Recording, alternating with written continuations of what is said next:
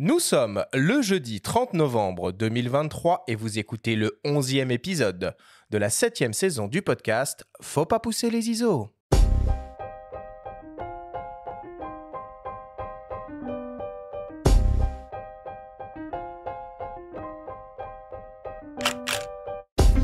Bienvenue sur Faut pas pousser les ISO, le podcast hebdo pour tous les passionnés de photos et de vidéos. Je suis Arthur Azoulay, j'anime cette émission avec mon ami le journaliste Benjamin Favier. Aujourd'hui, c'est la seconde émission au coin du feu de la septième saison du podcast. Nous avons le plaisir et l'honneur de recevoir le photographe de l'extrême Tristan Chou, avec qui nous allons parler de son parcours, de son travail, de ses images et de sa technique pour réaliser des images extraordinaires dans les conditions les plus extrêmes que l'on puisse imaginer. Cette émission vous est présentée par Fujifilm avec la série X et le système grand format GFX, des appareils hybrides dotés d'une qualité d'image unique. Eh ben c'est parti, onzième émission de cette septième saison du podcast. Benjamin, comment vas-tu ce matin? Alors, j'ai pas une voix aussi grave que toi. Oui, je sais pas ce qui m'a pris tout- là, je suis en mode White Barry, euh, mais, euh, Mais je, tout, je- je- je vais m'égayer. tout, tout va bien. Alors, je suis bon, je suis un peu intimidé parce que moi, je suis nul en ski. J'ai jamais fait de parapente, mais je vais essayer d'être. Alors euh, moi, tu sais ce que je fais au ski? Je fais du Youner. Je suis le seul à faire ça. C'est une espèce de petite... euh, c'est un- truc historique euh, qui était euh, fait par les bergers à l'époque pour euh, descendre les, les bestioles, je sais pas quoi. En gros, tu as une espèce de, mini-ski en métal avec un petit siège et puis un grand manche. Il n'y a que ça que je sais faire. C'est ridicule, mais je suis tout seul et du coup, je suis un peu la rosta sur les pistes. Ah, tu Bref. me rassures. Tu me, tu me fais bien parce que j'avais aussi les snowblades qui me correspondaient, mais il paraît que ça fait vraiment pas pro, quoi. Bon, écoute, c'est le retour quand même des euh, Au coin du feu. Euh, on a fait une belle série de- d'émissions euh, très techniques, très matos. Euh, voilà, on va se poser un peu plus, euh, un peu plus tranquillement aujourd'hui et on a le plaisir de recevoir pour la première fois euh, à ces micros le photographe Tristan Chou. Bonjour Tristan, merci beaucoup d'avoir accepté notre invitation. Bonjour messieurs, mais de rien, c'est un plaisir d'être avec vous aujourd'hui. Alors Tristan, je vais commencer par te présenter à nos auditeurs. Tu vis et travailles au cœur des Alpes, près d'Annecy. Tu es ce que l'on appelle un photographe outdoor. Tu réalises des images spectaculaires sur les pentes glacées de sports de glisse, mais aussi de parapente ou encore d'engins à deux ou quatre roues. Pour résumer, tout type de sujet lancé à pleine vitesse dans des décors grandioses.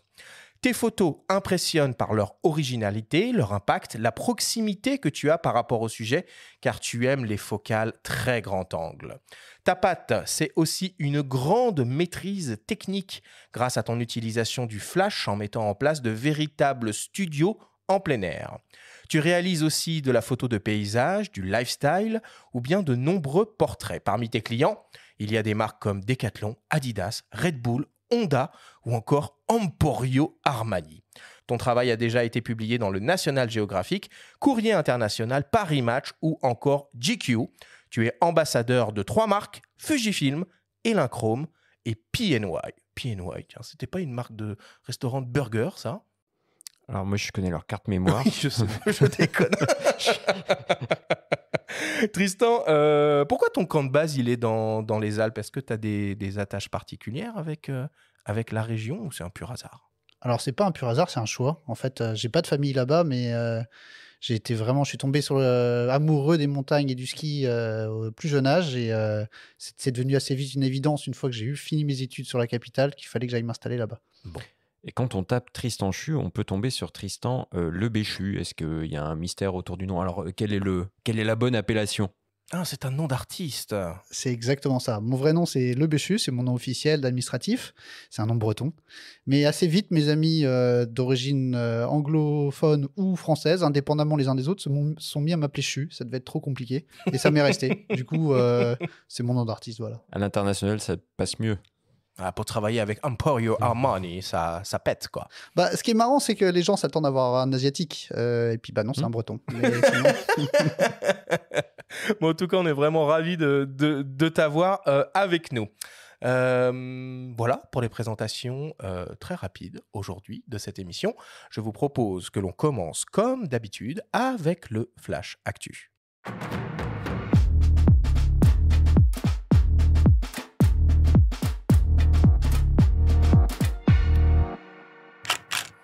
Cette semaine, dans le Flash Actu, Kodak lance son projet de caméra Super 8. Insta360 lance de nouvelles action cam et les lauréats du prix Richard Martin sont dévoilés. Le Flash Actu vous est présenté par Fox.fr, le site des spécialistes de l'image. Kodak décide finalement de relancer une caméra argentique Super 8. Le projet, pour le moins original, avait vu le jour en 2016 et avait été présenté pour la première fois à l'époque au CES de Las Vegas sans jamais devenir une réalité. Presque dix ans plus tard, la firme semble le remettre sur le devant de la scène avec une version très éloignée, tout du moins en ce qui concerne le tarif, de l'idée de 2016. En effet, à l'époque, la caméra devait être commercialisée autour des 750 dollars et aujourd'hui, le prix annoncé est autour des 5500 dollars. Pour ce prix, on devrait se retrouver avec une belle valise incluant la caméra associée à une optique interchangeable de 6 mm ouvrant à T1.2 en monture C. La caméra propose donc un enregistrement sur film argentique Super 8 et une visée numérique à l'aide d'un écran LCD de 4 pouces ou en HDMI. Cette caméra serait aussi capable d'enregistrer le son sur carte SD grâce à un micro externe connecté en jack 3,5 mm. Il est possible de sélectionner la cadence du film en 24, 25, 18 et même 36 images par seconde avec donc 8 minutes d'enregistrement au maximum. À l'heure actuelle, il est possible de trouver des cartouches Super 8 Kodak en négatif couleur, lumière du jour ou tungstène, en négatif noir et blanc Tri-X et en positif couleur Ektachrome. Très peu d'informations existent sur le prix de développement de ces films pour le grand public. Chaque cartouche est actuellement commercialisée autour des 40 euros. Dans un premier temps, la caméra devrait être commercialisée aux États-Unis. Il n'y a aucune information sur quand elle sera disponible en Europe. Insta360 lance deux nouvelles action cam, les Ace et Ace Pro. Ces deux caméras exploitent un capteur de 48 millions de pixels qui permet de produire des séquences vidéo 6K 30p pour la première et jusqu'au 8K 24p pour la seconde. À noter que le modèle Pro dispose d'un capteur plus grand de 1 sur 1,3 pouces et donc une meilleure performance en basse lumière et une meilleure dynamique. Est associé dans les deux cas un module optique grand angle équivalent 16 mm pour le modèle Ace avec une ouverture de f2.6 et pour le modèle Pro avec une ouverture de f2.4 et une signature Super Sumarit ASPH Leica. Côté slow motion, on retrouve un mode 120p 4K et 240p Full HD. L'IA est au programme avec une puce dédiée qui traite le bruit numérique en temps réel. On retrouve aussi un mode HDR intégré, une stabilisation avec fonction verrouillage de l'horizon 360 degrés. Côté ergonomie, on note la présence d'un écran arrière monté sur charnière pour faciliter le vlog et un second écran en façade qui affiche les principales informations de réglage pendant les enregistrements. Les Insta 360 Ace et Ace Pro sont déjà disponibles et proposés au prix respectif de 409 et 479 euros. Plusieurs kits spécifiques avec des accessoires sont également disponibles. Et enfin, pour terminer, les lauréats du prix Richard Martin 2023, organisé par le magazine L'équipe en partenariat avec Canon, viennent d'être dévoilés. Au total, ce sont près de 180 photographes professionnels et 600 photographes amateurs qui ont participé à cette nouvelle édition. Le lauréat professionnel est Vincent Leloup pour une photo prise le 28 octobre dernier lors de la finale de la Coupe du Monde de rugby. On y voit le pilier néo-zélandais Ethan de Groot hurler de douleur après avoir reçu un coup de coude du numéro 8 sud-africain, Douane Vermeulen. Dans la catégorie amateur, ce sont deux photographes qui se partagent le prix, avec Karim Tebache dans la catégorie action pour sa photo prise le 12 mars à un événement de MMA organisé par la Levels Fight League à Amsterdam, où l'on voit le français Lexa battu, qui vient féliciter son adversaire à l'issue du combat. Le second lauréat dans la catégorie hors champ est remporté par la photographe Pascal Catherine pour sa photo prise le 5 novembre 2022 à Boulogne-Billancourt, sur laquelle on voit un hockeyeur des Tigres de l'ACBB en troisième division, cloué sur le banc, regarder ses coéquipiers reprendre le match.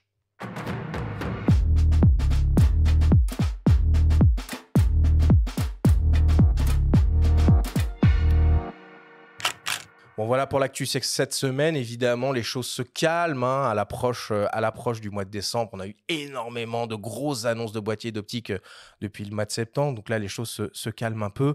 Mais bon, quand même, hein, un petit mot sur cette Kodak Super 8 à 5500 dollars. C'est quand même du délire, non? Oui, euh, perso, je préfère parler du prix Richard Martin.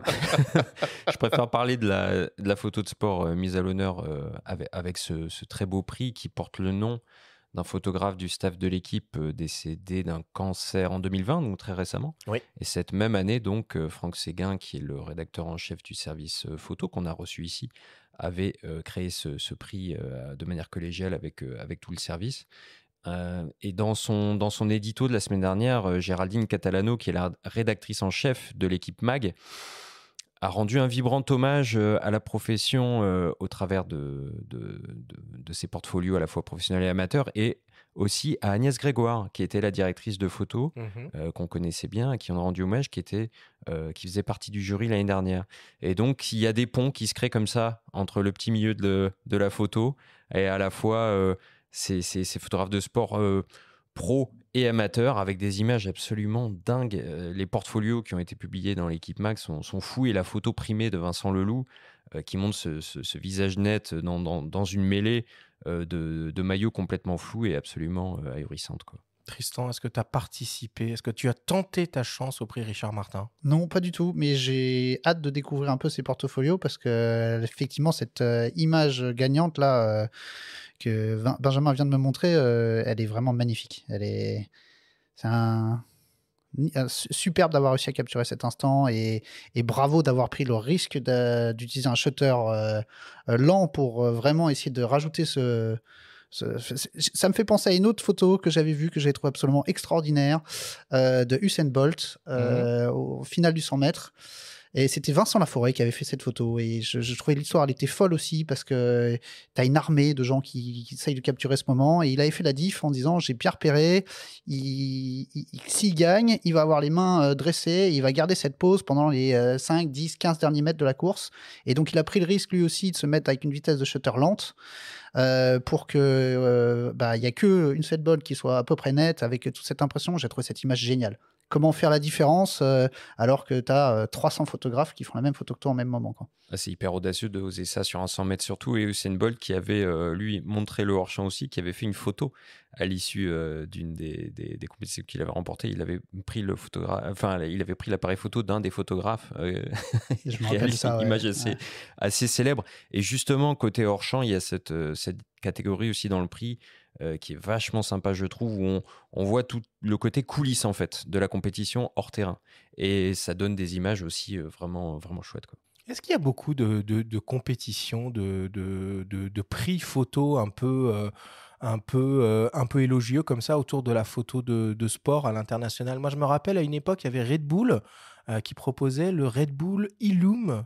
Est-ce que ça existe encore, ce truc-là? Toujours, et c'est sans doute, le, effectivement, le, dans le domaine de la photo d'action, le, prix le plus médiatique et le plus. Euh, oui, et puis ça continue à grandir. Je crois que je suis impressionné par le nombre de photos qu'ils ont à trier à chaque édition. Quoi.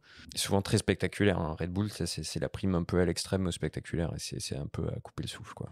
Ouais, mais alors il y a deux écoles justement. Il y a soit la photo qui a été complètement mise en scène et qui est magnifique avec une, un travail potentiel sur les lumières, etc. Soit cet instant qu'on a réussi à capturer qui se reproduira sans doute jamais. Mmh. C'est vraiment deux écoles qui s'affrontent. Euh, ben, en tout cas, celle qui a gagné, euh, encore une fois, bravo, parce que celle-là, elle est clairement pas mise en scène.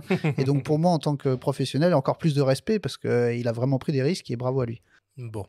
Parmi les autres actualités de la semaine, je voulais dire un mot sur le fait que Rico, enfin Pentax, lance aussi comme OM System une nouvelle version de euh, son compact étanche, hashtag indestructible, hashtag baroudeur, le WG90, hein, qui évolue quasiment pas euh, par rapport à son euh, prédécesseur. Hein. On est toujours sur un capteur CMOS rétro-éclairé de 16 millions de pixels, un zoom optique euh, de 5 fois, et puis des protections euh, complètement dingues.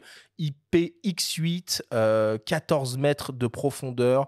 Il résiste à des chutes de 1,6 mètres et a priori, je peux monter dessus puisque il résiste à des pressions de 100 mètres. Voilà, tout ça pour la modique somme de 300... 100 kilos, tu veux dire peut-être? 100 kilos, pardon. Tout ça pour la modique somme de 380 euros avec une disponibilité euh, début 2024. Benjamin, est-ce qu'il y a d'autres actualités que tu voulais mentionner cette semaine? Oui, j'aimerais parler de la sortie d'un numéro hors série de Réponse Photo, un Ah. regard sur la planète qui voit le jour suite à une campagne de financement participatif réussie. On en avait parlé à ces micros. Oui. Euh, donc sur les 19,90 euros demandés en kiosque, sachez qu'un euro sera reversé à l'Instituto Terra, c'est l'ONG de reforestation fondée par Sebastiao et Lelia Wanik Salgado, sa, femme. Euh, on en avait également parlé avec lui lors du Au coin du feu qu'on qu'on lui avait consacré euh, à, ces, à ces micros. Dans ce numéro, vous aurez aussi de, beaux portraits de Vincent Munier, Yann Arthus Bertrand, des, des figures un petit peu euh, en- engagées, on va dire, et une très très belle série de Maxime Richet, Climate Heroes, et d'autres articles de fond sur l'état des lieux. Il y a aussi des pistes de réflexion sur l'impact de la photographie sur l'environnement au travers de l'utilisation de produits chimiques en argentique, de l'impression euh, jet d'encre, la pollution numérique générée par les différents supports de stockage physique ou dans les data centers. Et on a aussi un petit peu un éventail des initiatives prises par les constructeurs au niveau de la production pour réduire leur bilan carbone. Donc c'est dense, c'est 196 pages, c'est très très bien maquetté et c'est une lecture euh, instructive. Et donc ça, c'est disponible en kiosque ou on le retrouve en librairie? C'est disponible en kiosque au Ok. prix de deux- 19,90 euros. Super. Merci Benjamin. Voilà qui clôture le Flash Actu euh, cette semaine. On passe à la suite. C'est le moment naturellement, Benjamin, de ta chronique hebdomadaire, de ta story. Et tu nous conseilles le visionnage d'un documentaire consacré à l'un des plus grands photographes français du dernier siècle. La story vous est présentée cette semaine par Fujifilm avec la série X et le système grand format GFX, des appareils hybrides dotés d'une qualité d'image unique.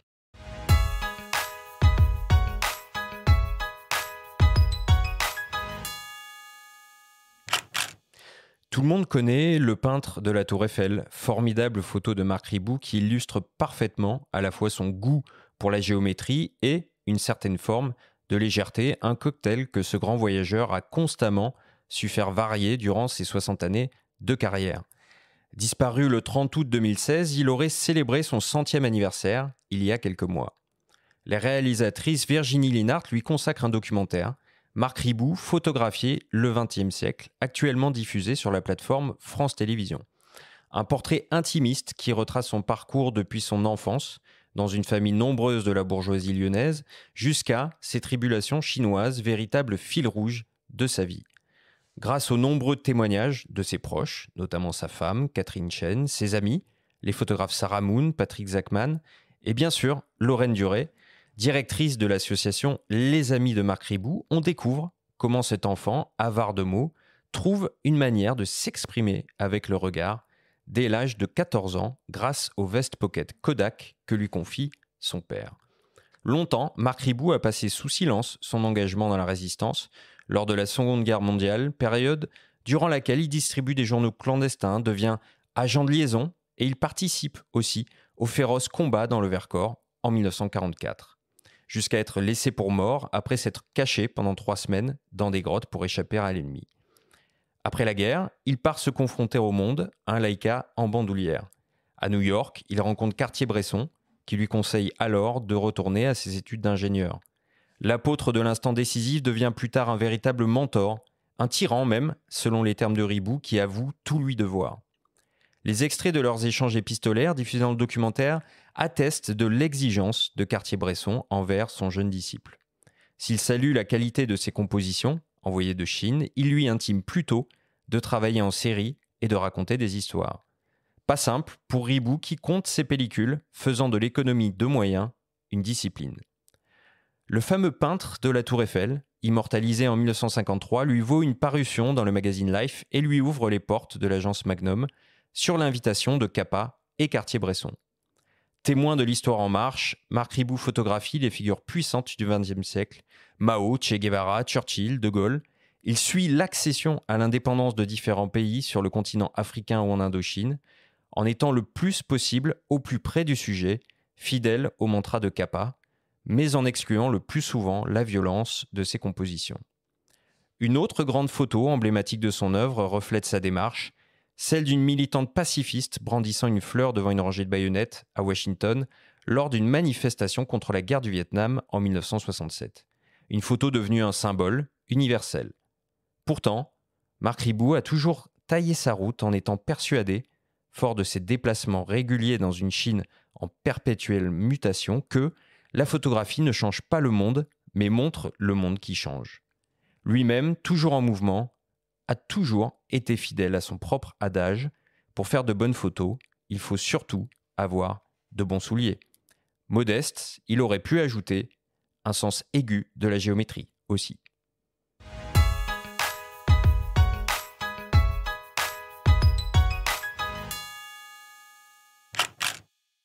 Alors, où est-ce qu'on peut le, le trouver, ce, ce documentaire? C'est encore dispo euh, Combien de temps? Ouais, ce docu, il est, il est accessible gratuitement sur la plateforme de France TV, hein, qui est une euh, vraie euh, petite mine d'or quand on veut euh, accéder à des documentaires de, de- de qualité gratuits, un peu comme sur Arte, l'application d'Arte. On peut le voir jusqu'au mois de mai. C'est un docu de 52 minutes qui comporte vraiment beaucoup, beaucoup d'infos, beaucoup de Mhm. témoignages. Mhm. Et personnellement, je, bon, je connaissais euh, Marc Ribou, je l'avais même rencontré lorsqu'il avait préparé une expo à la MEP, euh, je crois que c'était en 2011, euh, un, un abécédaire de son œuvre. Euh, J'aimais beaucoup ce qu'il faisait, mais je ne savais pas vraiment qui il était, enfin, euh, comment il avait commencé la photographie, etc. D'apprendre tout ça, de, de voir que son père lui offre son, son premier appareil pour l'aider à s'exprimer parce qu'il n'arrivait pas à le faire au milieu d'une famille nombreuse et tout, c'est très touchant. On apprend vraiment beaucoup de choses. Et j'ai découvert aussi que c'était vraiment un petit peu l'alter ego de Nicolas Bouvier, qui était un grand écrivain sur l'usage du monde et qui, Marc Ribou, était plutôt le photographe un peu du monde qui est parti euh, au volant d'une Land Rover en 1956 euh, vers l'Orient et qui a découvert euh, la Chine, Mmh. l'Afghanistan et, et qui a passé sa vie à, à voyager. Mmh, mmh. Toi, Tristan, tu, tu es un photographe outdoor, tu, tu voyages euh, évidemment euh, euh, beaucoup.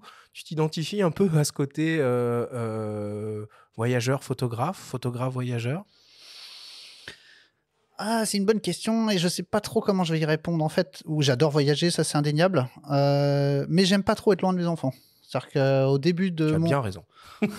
au début de mon métier, oui, clairement. euh, tu vois, si je dois aller shooter en Nouvelle-Zélande, ben, avec grand plaisir. euh. mais avec le temps, je, je- j'aime bien voyager, mais sur des missions courtes. Pour, Ouais. euh, enfin, je suis ancré. et Je sais que on a un métier, tu sais, qui est un peu chaotique, qui part un peu dans tous les sens. Et euh, moi, ma source d'équilibre, clairement, c'est les enfants. Donc, euh, j'allais dire l'équilibre pour moi, il est là. C'est oui, voyager certes, ou pour amener des belles images complètement, mais ne pas oublier piano, euh, piano, ce quand qui même. permet de, grand- de continuer, d'avancer. Ouais.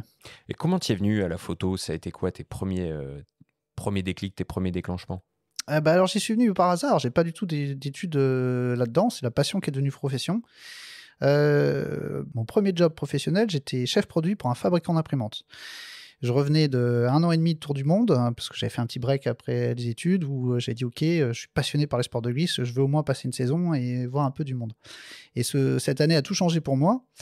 Et quand je suis revenu, que je travaillais donc euh, à la Défense, euh, je prenais le train couchette tous les week-ends pour aller dans les Alpes, euh, pour rider, euh, l'été compris sur les glaciers. Et euh, c'est l'époque où le numérique a débarqué. Je me rappelle, euh, c'était un Kodak 2 millions de pixels qu'il y avait au boulot et que je, je partais avec. Je faisais des potos euh, de mes copains en train de rider le week-end. Et puis je pouvais imprimer comme je voulais, donc j'imprimais ça et je l'ai ramené le week-end d'après. Et c'est comme ça que la passion a pris un peu d'importance et est devenue euh, une obsession. Et j'ai dit ok, bah allez, je me lance. Est-ce qu'il y a des grands photographes qui t'ont un peu, euh, un peu inspiré qui t'inspirent toujours d'ailleurs? Ah, c'est une, une autre bonne question. C'est-à-dire que j'ai vraiment longtemps été un peu dans mon coin à faire mes trucs, à regarder. Alors, bien sûr, bien évidemment qu'on est euh, forcément inspiré par euh, tout ce qui nous entoure. Euh, il y a, y, a, y a plein de gens dont j'ai vraiment apprécié la démarche. Euh, photographe, c'est un métier où c'est ta personnalité qui va transparaître dans tes images et il n'y a pas une façon de faire, il y en a 12 000. Tu peux très bien être complètement introverti. On parlait de Marc Ribou qui avait du mal à s'exprimer auparavant et qui a trouvé la façon de le faire à travers les images. Ou au contraire, moi je suis plutôt extraverti, je, suis, euh, je, je communique beaucoup, euh, euh, je suis un peu un chef d'orchestre entre guillemets, où pour moi c'est très important l'ambiance de tournage, parce que si on s'amuse, bah, ça se verra sur les images. et donc il y a plein de façons de faire en fait, d'arriver à un résultat. Et je respecte absolument toutes les, toutes les façons. Et ça me je trouve ça toujours très intéressant de discuter avec des confrères ou avec des photographes pour savoir quel est leur process, comment ils font. Euh, j'ai horreur de, de, parler de technique ou de réciter une fiche technique. Je, préfère parler d'idées et de process. comment résoudre ces problèmes, comment arriver au, résultat. C'est marrant que tu parles de tournage quand tu parles de tes images, mais on va mieux comprendre pourquoi hein, au cours de notre discussion. ok, bon, on, va terminer la, la, story là-dessus. Merci Benjamin. Et puis, je le rappelle, foncez euh, voir ce, ce très beau documentaire sur le photographe euh, Marc, euh, Marc Ribot. On fait une petite pause, une petite respiration avant d'attaquer notre grande discussion au coin du feu avec toi, Tristan Chou. On revient dans quelques secondes après une courte publicité. Photographe de sport, d'action, nous avons les boîtiers qu'il vous faut. Explorez le potentiel incroyable des appareils photo Fujifilm X et GFX. Moi, j'ai choisi l'hybride compact Fujifilm X-T5 pour sa rafale. 20 images par seconde et un autofocus de dernière génération. Sans oublier la reconnaissance des sujets qui utilisent la technologie Deep Learning avec l'intelligence artificielle. Le tout sans compromis sur la définition, 40 mégapixels et la qualité d'image grâce au capteur X-Trans CMOS 5HR 5e génération. Bon choix moi, c'est le nouvel appareil grand format Fujifilm GFX 102 que j'utilise. Quelle expérience ultime C'est sidérant d'obtenir des fichiers de 102 mégapixels avec un mode rafale de 8 images par seconde. Mes tirages sont magnifiques, c'est une autre dimension. Et vu la gamme d'objectifs Fujinon compatibles avec ces hybrides Fujifilm, on a l'embarras du choix. Difficile de ne pas se montrer créatif avec une conception et une qualité optique exceptionnelle sur le piqué et la colorimétrie. Découvrez les boîtiers Fujifilm des gammes Série X et GFX. Ils sont uniques. Plus d'infos sur fujifilm-x.com. Nous sommes de retour dans Faut pas pousser les ISO avec le photographe Tristan Chou pour cette grande discussion au coin du feu. Alors pour commencer, nous allons nous pencher sur les qualités requises pour exercer ton métier, à savoir photographe outdoor. Jean-Clément Lelard, réalisateur, un des associés de la société Blue Max Media, nous explique pourquoi ton profil est si précieux lorsqu'il s'agit de réaliser des prises de vue pour le moins acrobatiques on est une société de production audiovisuelle, donc on, nous demande euh, de proposer des photographes. Donc, euh, on est amené souvent à proposer voilà euh, plusieurs profils de photographes, entre autres Tristan pour pour beaucoup de choses outdoor. Donc, ça peut être du ski, ça peut être du parapente, mais aussi pour du deux roues, voilà, de la, de la moto, pour une marque en particulier. Ces compétences de l'outdoor l'ont aussi amené sur ce genre de tournage parce que faut savoir que lorsqu'il faut qu'on shoote de la moto, bah, c'est souvent en extérieur. Ça demande aussi, comme encore une fois, des compétences particulières parce que quand il faut se retrouver euh, euh, sur une moto, euh, retourner à l'arrière à 110 km/h dans des cols pour pouvoir prendre des, photos, c'est voilà, c'est particulier et pas tout le monde peut le faire. Et lui, sait le faire. C'est vrai que finalement, quand on regarde tes images, c'est des images qui, qui touchent évidemment les amateurs de photographie, les amateurs de photos de sport, mais pas que. ça touche aussi le, le, grand public. et c'est vrai que souvent, on peut se dire, putain, mais c'est qui les gars qui font ce genre d'image totalement extraordinaire? Et comment on fait pour devenir le gars qui fait ces images-là? Comment on fait, Tristan, pour devenir photographe outdoor comme toi? Ah, encore une fois, je pense qu'il n'y a pas une façon de faire, il y en a plein. Euh, moi, c'est vraiment des rencontres, c'est ma passion. C'est-à-dire que la passion pour les montagnes qui m'a attiré dans les Alpes. Et donc, euh, j'aime bien les activités outdoor. Et donc, naturellement, c'est ce que j'ai commencé à photographier. Et puis, bah, après, rencontres, euh, projets, enthousiasme. et j'adore shooter des trucs que j'ai pas l'habitude. Si tu shootes des domaines que tu connais, que tu maîtrises, tu vas être à 70%. Tu connais tes angles, tu connais ce qui marche, tu as l'expérience. tu vas pas te pousser vraiment. Enfin toute proportion gardée, bien sûr. Alors que si tu shootes une nouvelle discipline, bah là, tu es tout de suite beaucoup plus. euh, ben, en dehors de ta zone de confort. Et en dehors de ta zone de confort, bah, du coup, tu vas aller chercher, tu vas creuser, tu vas euh, essayer d'autres choses. Et, euh, et j'adore puiser dans une discipline pour aller la mettre dans une autre. Un truc tout bête, par exemple, moi, mon, mon expertise sur, euh, sur euh, la, la gestion de la lumière euh, et puis sur beaucoup d'aspects techniques de la photographie, elle est venue de la photographie d'intérieur, d'hôtel, de chambre de luxe. Alors tu te dis, waouh, c'est aux opposés de la photographie outdoor. Mmh. Ouais, mais là, tu peux pas te permettre sur ce genre de photo d'avoir un flou artistique, d'émotion, etc. Là, il faut vraiment une perfection technique. Et ben, je vais dire, cette perfection, en tout cas, ça m'a permis, euh, j'allais dire, de, mettre quelques outils dans mon sac euh, euh, que j'ai pu ressortir sur d'autres sur d'autres disciplines. Et j'adore faire ça, tu vois, d'aller puiser quelque chose dans un autre. C'est, j'ai vraiment le sentiment qu'en fait, on est un architecte et que le meilleur outil qu'on a, c'est pas ton appareil, quelle que soit la fiche technique, c'est ton cerveau. Et comment tu vas aller puiser dans ton expérience, tes compétences, savoir réagir à ce qui est autour de toi pour aller euh, prendre la bonne décision euh, pour essayer de ramener le cliché. Quoi. Comment tu la définirais, cette activité de, de photographe outdoor aujourd'hui? Qu'est-ce que ça brasse? Parce qu'en fait, on a l'impression que ça brasse plein d'univers euh, différents. Alors complet. Alors il y a des gens qui sont ultra spécialisés. Euh, tu as des photographes, par exemple, qui sont vraiment spécialisés dans le culinaire. Ça n'a rien à voir avec l'outdoor. Euh, et il y a des photographes qui sont spécialisés dans les montres. Et il y a des photographes qui sont spécialisés dans l'outdoor. Et bien sûr, c'est de la photographie, mais c'est vraiment des métiers qui sont complètement différents. Et j'allais dire, au sein de la, photographie outdoor, euh, il y a encore plein de sous-familles. Il y a des gens qui sont ultra spécialisés dans le vélo, d'autres plutôt dans le ski, etc. Alors, c'est ce que je vous disais juste avant. Moi, j'aime bien justement ne pas trop me spécialiser, même si j'ai cette étiquette outdoor. Euh, parce que j'adore justement passer d'une discipline à l'autre. J'ai- horreur de la routine et je trouve c'est super rafraîchissant de, de- pouvoir shooter des trucs différents. Et puis il y a des histoires de rencontres. C'est que euh, mes photos, c'est toujours euh, avec quelqu'un. Au minimum, on est deux. C'est-à-dire le sujet que je photographie et moi. Et ça arrive qu'on soit beaucoup plus que ça. Et j'adore ce travail d'équipe. Moi, en grandissant, en vieillissant, ça fait 18 ans que je suis pro maintenant. Je me rends compte que ce que vraiment qui m'anime et que j'adore, c'est ces relations humaines en fait.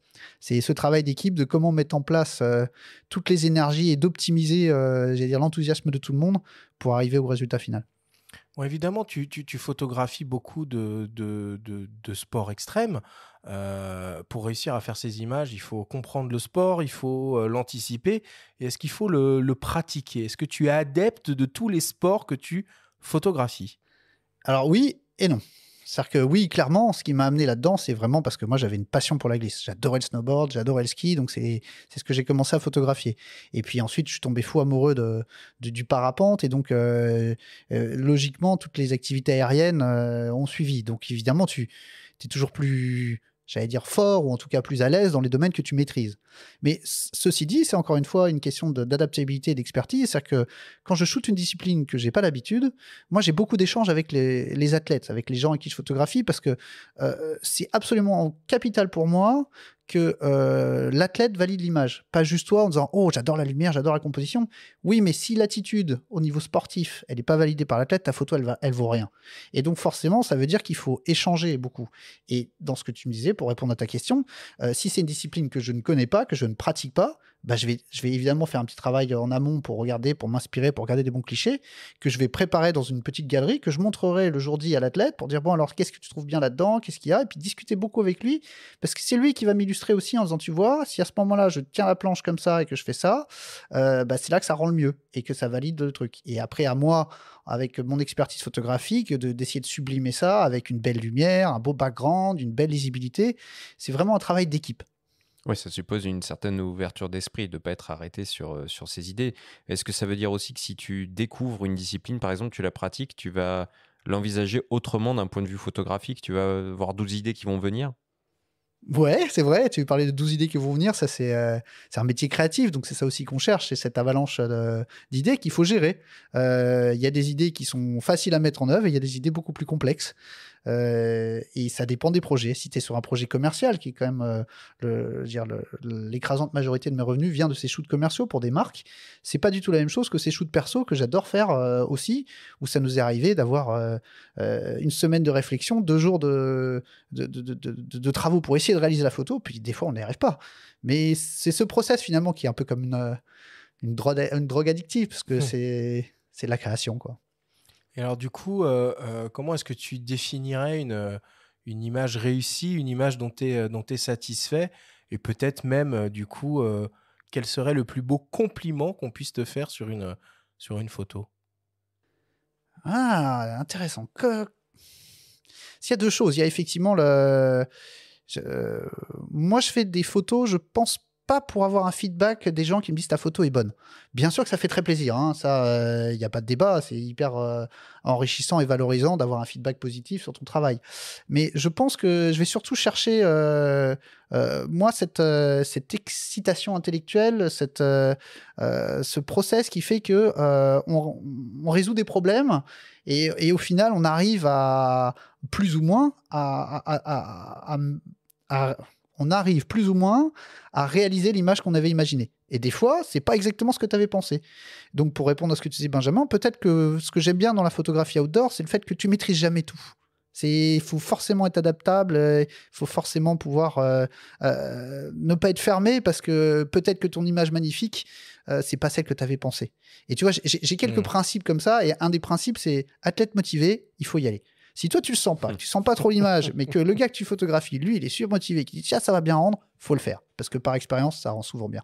Alors ça c'est euh, vachement intéressant parce que euh, on pense un petit peu tout le contraire quand on voit tes images. On a l'impression que c'est la maîtrise qui va plutôt euh, primer sur, euh, tu vois, sur, le, sur le reste et que la tête va attendre que toi tu sois prêt avec tes flashs, etc. pour se lancer. Euh, parce que les flashs font quand même partie intégrante de ton, de ton boulot. Et justement, euh, l'utilisation des flashs, on va, euh, en parler. Euh, toi, tu es quelqu'un qui hésite pas à monter de véritables studios à l'extérieur, en plein air et même en vol.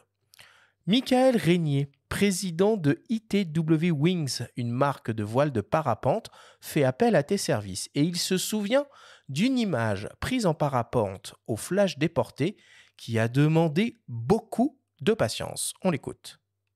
On s'est rencontrés euh, d'une part parce qu'on était voisins, puis on était animés de la même passion qui était le, parapente. Moi, j'avais déjà entendu parler de lui en tant que grand photographe euh, outdoor et on s'est mis à, shooter ensemble. Euh, Ça comme notre histoire a commencé comme ça. On a élaboré des, projets de photos un peu ambitieux qu'on a réussi. Notamment l'idée de- d'emmener un flash déporté en l'air en parapente. Moi, c'est vraiment une histoire qui nous a marqué. Sûrement une des photos les plus compliquées qu'on ait eu à faire. Ensemble, on a mis, je crois, un an et demi à réussir à sortir cette photo. C'était des. Donc, en fait, l'idée, c'était de. Lui, il était accroché sous un parapente. euh, euh, on avait d'autres pilotes qui volaient en parapente autour. L'idée, c'était de prendre en photo ces pilotes-là et avoir un flash déporté qui, lui, était encore sous un autre parapente. Tout ça au coucher de soleil, donc ça nous laissait un seul essai par jour. Ça nécessitait du monde pour la préparation et pour tout ça. C'était une équipe de 10 personnes qui était mobilisée quasiment tous les soirs où ça pouvait voler. Et on a réussi à sortir cette photo. C'était en de mémoire en 2016, au bout d'un an et demi de- d'essai. Voilà. Puis bah, Tristan, après, donc. en tant que photographe, c'est vraiment quelqu'un qui a son, son petit truc en plus, sa signature. Et il est vraiment perfectionniste il veut euh, vraiment toujours la, lumière parfaite, l'angle parfait. C'est pour ça que c'est aussi intéressant euh, de, travailler avec lui, c'est que euh, on s'ennuie jamais, il y a tout le temps des nouveaux projets. Et puis du coup, maintenant, vu qu'on travaille ensemble, moi je fais appel à lui pour les photos de communication pour ma marque de, parapente. Et donc du coup, bah, je l'emmène avec moi sur des voyages. L'année dernière, on a pu se faire un, un bon périple. Alors là, c'était en paramoteur, pas en parapente. On est parti trois semaines. euh, on s'est fait tout l'Ouest euh, américain, où là, on a ramené des photos, euh, monuments de vallée, tous les grands parcs américains, shootés avec Tristan Chou derrière l'objectif et le rendu est grandiose. Bon, euh, quand on l'entend, on n'a clairement pas tous, euh, pas tous la même vie. Euh, Tristan, un an et demi pour arriver à faire une seule image. Tu te rappelles un peu de, de cette photo que tu as réussi à faire en 2016 Alors je me rappelle très bien, c'était vraiment un process de fou, Euh, mais je me rappelle pas d'un an et demi, tu vois, c'est avec le temps. euh, C'était un peu marseillais. Deux ans C'était ouais, entre la genèse de l'idée et la réalisation de l'image, oui, c'est peut-être passé autant de temps, mais on n'a pas fait un an et demi d'essai, même si effectivement il a fallu plein d'essais, etc. Parce que euh, c'était, euh, j'ai fait une photo qui était encore plus compliquée que ça avec Mika. On a fait vraiment beaucoup de choses. euh, Tu vois, tu as des partenaires comme ça, des, gens avec qui ça match, euh, qui ont la même énergie que toi. Et j'adore, moi, quand un projet m'échappe. Euh, et là, typiquement, c'était un projet qui m'avait échappé. Cette, idée un peu folle, parce qu'à l'époque, ça n'avait pas été fait, euh, de bah, flasher un parapente en l'air. Et comme disait Mika, il a fallu, euh, il a fallu euh, mettre pas mal de compétences et de gens sur cette euh, histoire parce que bah, il fallait monter, il fallait vraiment, alors il fallait qu'il y ait le- la belle lumière parce qu'on mettait tellement d'efforts que on shootait au coucher du soleil. Et- de nous la décrire un peu cette image, euh, qu'on qu'on s'imagine un peu la, la folie de, de- de la prise de vue. Euh, bah, accrochez-vous alors, parce que on, on y est peut-être pour un moment. Je vais essayer de faire court. Euh, en fait, l'idée, on avait donc ce background. Euh, moi, j'habite à Annecy, au bord du lac, qui est un des hauts lieux mondiaux du, du parapente. C'est pour ça d'ailleurs que je suis tombé dans le parapente, c'est un habitant là-bas. Et on a cette, euh, ce, lac à nos pieds qui est vraiment une, une vue euh, extraordinaire et qui, euh, le lac, il est en forme de S. Et euh, nous, photographes, on adore les S parce que ça fait des lignes directrices fantastiques. Et donc, on a ce background, on a cette, cet endroit qui vraiment fait l'écrin déjà pour la belle photo de paysage, même sans mettre le parapente. Et dans l'idée, c'est qu'on voulait mettre un parapente dedans. Et pas juste un parapente qui vole tout droit. On voulait mettre un parapente en train de faire une manœuvre. Et en discutant avec les pilotes, ce que je vous disais tout à l'heure, on échangeait, on disait, OK, quelle est la figure en parapente qui pourrait être euh, la plus emblématique pour nous, euh, volants, et qui soit aussi, euh, qui rendrait bien photographiquement. Et on est arrivé sur l'idée que c'était un décrochage qui nous allait bien. Alors, décrochage, c'est une action où, en fait, tu viens tellement freiner ta voile, et si tu le fais de manière dynamique, elle part vraiment en arrière. C'est-à-dire que ça se décroche complètement, elle devient chiffon, et tu tombes un peu en arrière. Euh, c'est une manœuvre de vol euh, qui a l'air un peu extrême comme ça, mais qui finalement, quand tu pratiques, est aussi ta position reset. Si vraiment tu as un problème, tu as un incident, c'est la manœuvre à faire pour remettre ton parapente à zéro. Mais c'est quand même une manœuvre un peu engagée parce que ça peut mal se passer, donc il faut vraiment le faire avec des gens qui maîtrisent. Et là, en l'occurrence, il fallait, pour que la photo marche, euh, qu'on décolle en biplace. C'était en biplace avec deux personnes en des vols tandem, parce qu'on avait si en solo, c'était absolument gérable. Et donc, le premier biplace, bah, il emmène le photographe. Euh, le deuxième biplace, il emmène le gars qui tient le flash. Et ensuite, il nous faut un ou plusieurs pilotes, idéalement plusieurs, parce que le, moment pour faire la photo est vraiment très, très, très, très court, euh, pour servir de modèle. Et quand je dis qu'il est très court, c'est que euh, le parapente, pour décoller au coucher du soleil, c'est souvent pas un bon moment, parce que c'est le moment où, en fait, il y a une activité cabatique, ça veut dire que le vent, au lieu de monter, euh, se met à redescendre de la montagne. Et donc, du coup, tu l'as dans ton dos, ce qui complique complètement le process de décollage. Pour que la photo, elle marche, il faut qu'on soit tous en l'air au même moment. Parce que le vol, à ce moment-là de la journée, il dure que 5 minutes. Allez, euh, 7 minutes. Et s'il y a un de nous qui rate le décollage, la photo est morte. Donc, il faut qu'absolument tout le monde décolle en même temps, avec dans un process un peu plus compliqué, que ce- on se cale très vite en l'air, et puis qu'ensuite on arrive à réaliser la, la figure au bon endroit pour que ça rentre bien, que le flash euh, ait la bonne puissance, etc. D'où la, complexité que Mika a évoquée. Mmh. Et il nous a fallu pas mal d'essais. Mais ce que j'ai adoré quand je vous disais que le projet m'a échappé, c'est que au final, euh, j'étais fatigué parfois, j'avais pas envie. Bah non, il y avait cette espèce de groupe qui s'était créé, cet enthousiasme pour aller créer, pour essayer d'aller faire cette image. Et alors c'est ce soir, on monte. euh, un tel a prévu la navette euh, parce qu'il faut aussi des moyens logistiques pour tout ça. Et quand je vous dis que j'adorais ça, c'est que je me retrouvais dans la navette, euh, plutôt entraîné par l'énergie du groupe que moi qui portais le projet sur mes épaules. Et ça, j'adore ces moments-là où le projet m'échappe. Bon. Du coup, euh, le flash, on le comprend, c'est un peu ta, c'est un peu ta signature. Alors évidemment, c'est un, subtil mélange entre la lumière naturelle et la lumière artificielle euh, du flash que, que, que tu utilises. C'est quoi comme type de modèle de flash que tu, que tu prends euh, en l'air et pas que? Alors, bah, alors les flashs, oui, complètement. J'adore ça. J'adore jouer avec la lumière, mais pas que. Ça, je fais quand même aussi énormément de, photos en lumière naturelle. Euh, je, je fais pas du flash pour faire du flash. Je fais du flash pour avoir une belle lumière. Euh, et euh, pour répondre à ta question, quand tu shootes en plein air dehors, t'as jamais assez de puissance avec un flash. Donc je prends des gros flashs. Euh, moi, je suis euh, partenaire avec cette marque de flash qui s'appelle Elinchrome. Et euh, l'histoire de mon partenariat, ça vient de là. Ça vient des essais de cette photo qu'on décrivait ensemble. Où à l'époque, j'étais pas du tout ambassadeur pour eux, mais j'utilisais un de leurs flashs. Et puis, ils ont vu cette image sur les réseaux. On s'est rencontrés. Ça a été tout de suite une super histoire humaine. Et, puis, comme j'utilisais leurs produits, bah, naturellement, il y avait un partenariat qui s'est fait. Et euh, je me rappelle très bien de tout temps quand j'ai discuté avec eux, j'ai dit mais faites-moi des flashs plus gros, plus puissants. On n'a jamais assez de puissance. Et ça les fait marrer parce que parce que c'est pas le marché, si tu veux. Là, c'est vraiment une utilisation euh, extrêmement euh, spécifique du truc. Quoi. Ouais, c'est pas le marché du tout. Tu vas même à rebours du marché parce qu'en plus, les boîtiers ont tendance à vraiment s'améliorer à la fois dans les hautes lumières, enfin, quand il y a moins de lumière plutôt, donc en haut ISO. Les logiciels aussi de retouche permettent de récupérer pas mal de détails. Donc, est-ce que ta manière d'utiliser le flash a évolué par rapport à ça? Est-ce que ça veut dire que tu vas le doser différemment ou tu vas peut-être moins l'utiliser aussi? Complètement. C'est-à-dire que je trouve ça super intéressant parce que vous me parlez de mon travail et ce qui vous a marqué évidemment, c'est le flash. Mais je pense qu'il y a quantité de photos que vous croyez flasher qui ne le sont pas. C'est-à-dire que moi, une bonne photo, c'est pas une photo où vous arrivez à voir la retouche, où vous arrivez à voir euh, le flash, où vous arrivez à voir la lumière, c'est juste une bonne photo parce qu'elle vous plaît.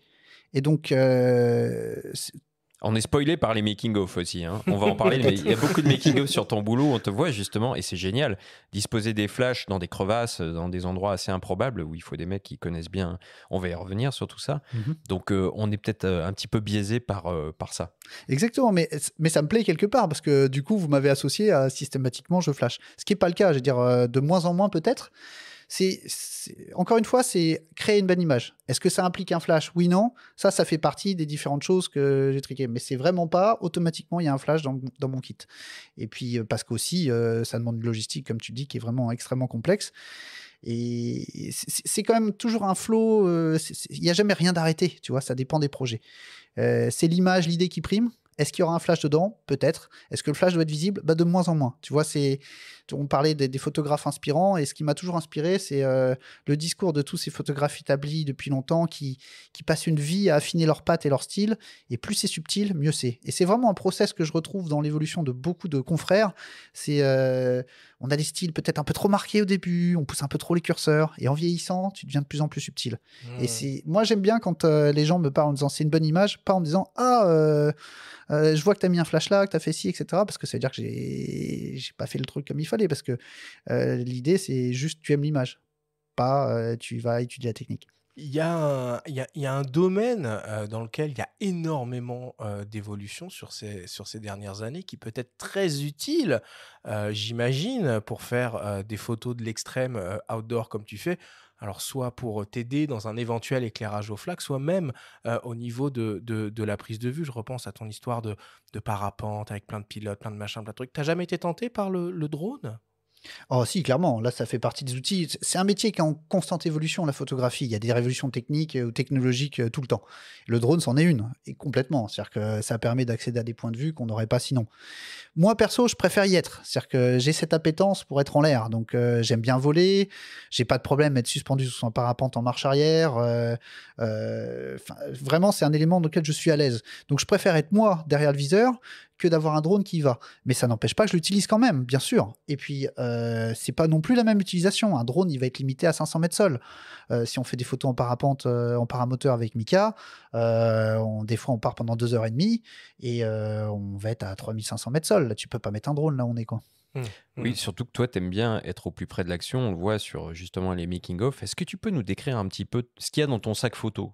Quand tu pars en shooting, tout simplement, ou tiens, pour aller réaliser cette image en l'air d'un parapente en train de, décrocher?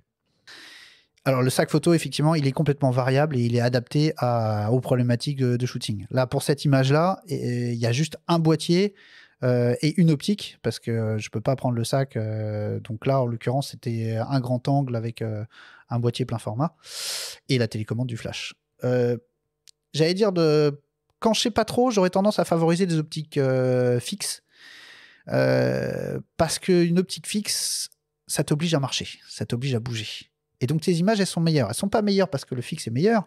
Alors oui, ça l'est. C'est souvent euh, un optique fixe, c'est souvent un peu moins cher qu'un zoom. Et puis on c'est souvent dans les tests comparatifs, etc. Machin, on s'aperçoit que c'est un peu meilleur. Mais c'est pas vraiment ça pour moi la, quintessence même de pourquoi j'aurais dit utiliser un objectif fixe plutôt qu'un zoom. C'est simplement que le fixe, t'as pas le choix. Tu vas être obligé de marcher pour avoir ton cadrage. Et à partir du moment où tu marches et tu te déplaces, t'améliores tes photos. C'est un truc tout bête, mais dans 90% des cas, quand tu arrives, tu dis Ah, elle est là mon angle, elle est là ma photo. Si tu as le temps, si tu as l'énergie et la volonté de marcher autour de ta scène et de truc, tu trouveras un angle qui est meilleur.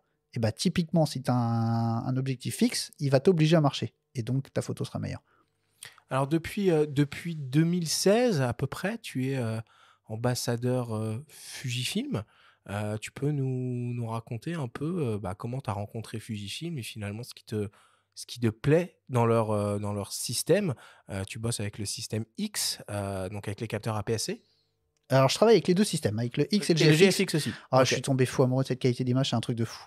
Euh, mais avant, pour répondre dans l'ordre de ta question, euh, mon histoire avec Fuji, c'est comme beaucoup d'autres histoires, c'est une histoire humaine. Euh, et je me rappelle, c'est à l'époque du, du boîtier XT2, Fuji avait besoin d'un photographe d'action pour mettre en avant ce nouveau boîtier qui avait vraiment une dimension action, qui n'était pas forcément euh, euh, trop le cas sur les boîtiers de précédents. Et puis, bah, les réseaux sociaux ont fait que euh, ont vu mon travail, ils m'ont contacté et m'ont proposé de, de shooter la campagne pour le XT2. Alors, bah, un projet comme ça, évidemment, super On oui, enthousiaste. oui, direct. Et puis, bah, histoire humaine, j'ai adoré la façon dont Fuji m'a contacté et m'a discuté avec moi. Ils sont pas du tout venus vers moi en disant on est les cadors du game, on fait les meilleurs appareils, etc. Au contraire, ils étaient mais humbles comme tout. Encore une, histoire humaine. Hein. Euh, ils disent nous, on est outsiders, nous, on a vraiment une, âme sur nos, produits euh, où euh, les gens, bah, soit ils aiment, soit ils aiment pas. Et c'est vrai que moi, je connaissais pas vraiment Fuji. Je connaissais bien sûr de nom, mais je connaissais pas leur boîtier avant ça.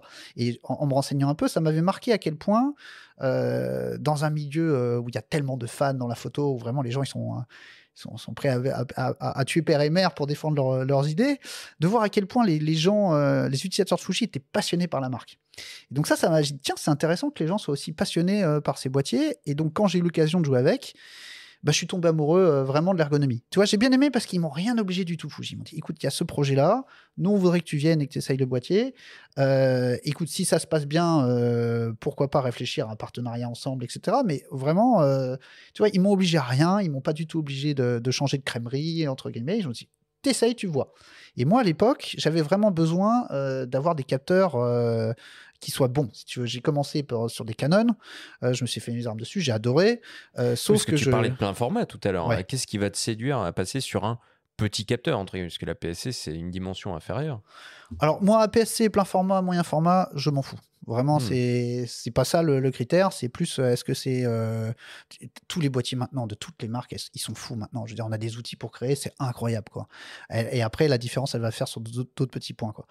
Euh, moi, j'aime beaucoup l'ergonomie, par exemple, de Fuji. C'est j'ai fait Canon, j'ai fait Nikon, j'ai fait Fuji, j'ai pas fait Sony, euh, mais j'ai fait quand même pas mal de marques. Tu vois, c'était vraiment le- l'outil qu'il me faut pour créer jusqu'à ce que effectivement je devienne ambassadeur pour eux parce que c'est moi qui suis tombé amoureux des produits. C'est pas eux qui m'ont dit vas-y il faut que tu shootes Mhm. qu'avec ça. C'est c'est une volonté où j'ai collaboré pendant plusieurs années avec des boîtiers X et euh, des boîtiers Nikon. Et puis naturellement euh, je suis devenu 100% Fuji mais c'est pas eux qui me l'ont demandé. C'est vraiment ça s'est fait naturellement.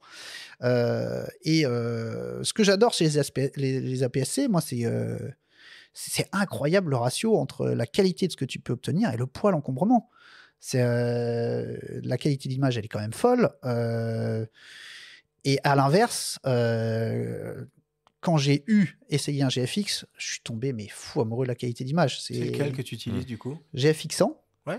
Et puis bah là, c'est- bah, la, grosse ouais. nouveauté du moment, c'est c'est le 102 là, euh, où j'ai joué un peu avec euh, depuis la semaine dernière. Plus et, petit, euh, plus léger, plus performant, euh, ça doit te parler. Surtout tout ça. taillé pour la photo d'action. Ouais. C'est ça qui est dingue, c'est qu'il ouvre des nouvelles perspectives. Pour un moyen format aussi rapide, entre guillemets. euh, Bah alors complètement. C'est-à-dire que moi, sur tous mes jobs, je je suis toujours en train de est-ce que je pourrais shooter ce job avec euh, le GFX pour des questions de poids, d'encombrement, de rapidité, de focus, de, de- de plein de choses. Alors, C'est une question que tu vas bientôt plus te poser du tout. Et ben c'est le gap devient de plus en plus étroit, Ouais. effectivement, parce que Tu le prendrais sur un parapente?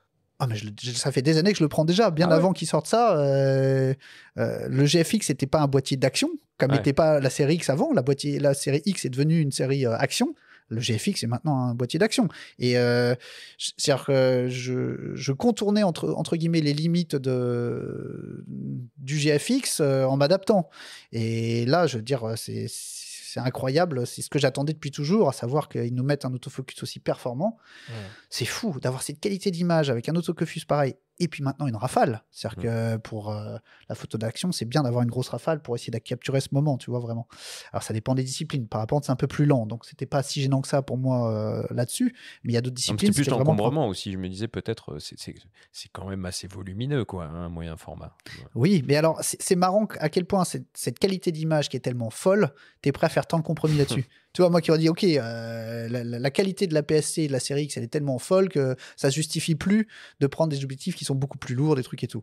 Ça, c'était jusqu'à ce que je commence à shooter avec un GFX. J'ai fait, waouh Enfin, toi, tu es tellement passionné d'images que c'est des images qui sont intemporelles. Je veux dire, euh, elles seront pas dépassées techniquement encore dans 10 ans, dans 15 Ouais. ans, celles-là, tu vois. Petit clin d'œil à Eric Bouvet, votre ambassadeur Fujifilm, qui là a gravi des montagnes avec euh, plus des, des sacs de plus de 25 kilos euh, pour aller refaire de la chambre. Euh, très très beau travail. Ouais. Ah bah complètement, tu vois, c'est c'est cet amour de l'image qui, qui, qui nous drive et qui va faire que oui, on va accepter de mettre un peu de poids dans le sac, ouais. Bon. Et, et, et clairement, oui, l'évolution. Tu vois, mon GFX 100, il est gros, il est lourd. Le 102, il est beaucoup plus petit. C'est enfin, c'était déjà le, le 100S qui avait, qui avait ça, mais c'est surtout le fait que maintenant, effectivement, tu, tu, tu peux avoir cette qualité d'image et pas avoir de compromis sur, euh, sur shooter des, des sujets en mouvement, quoi.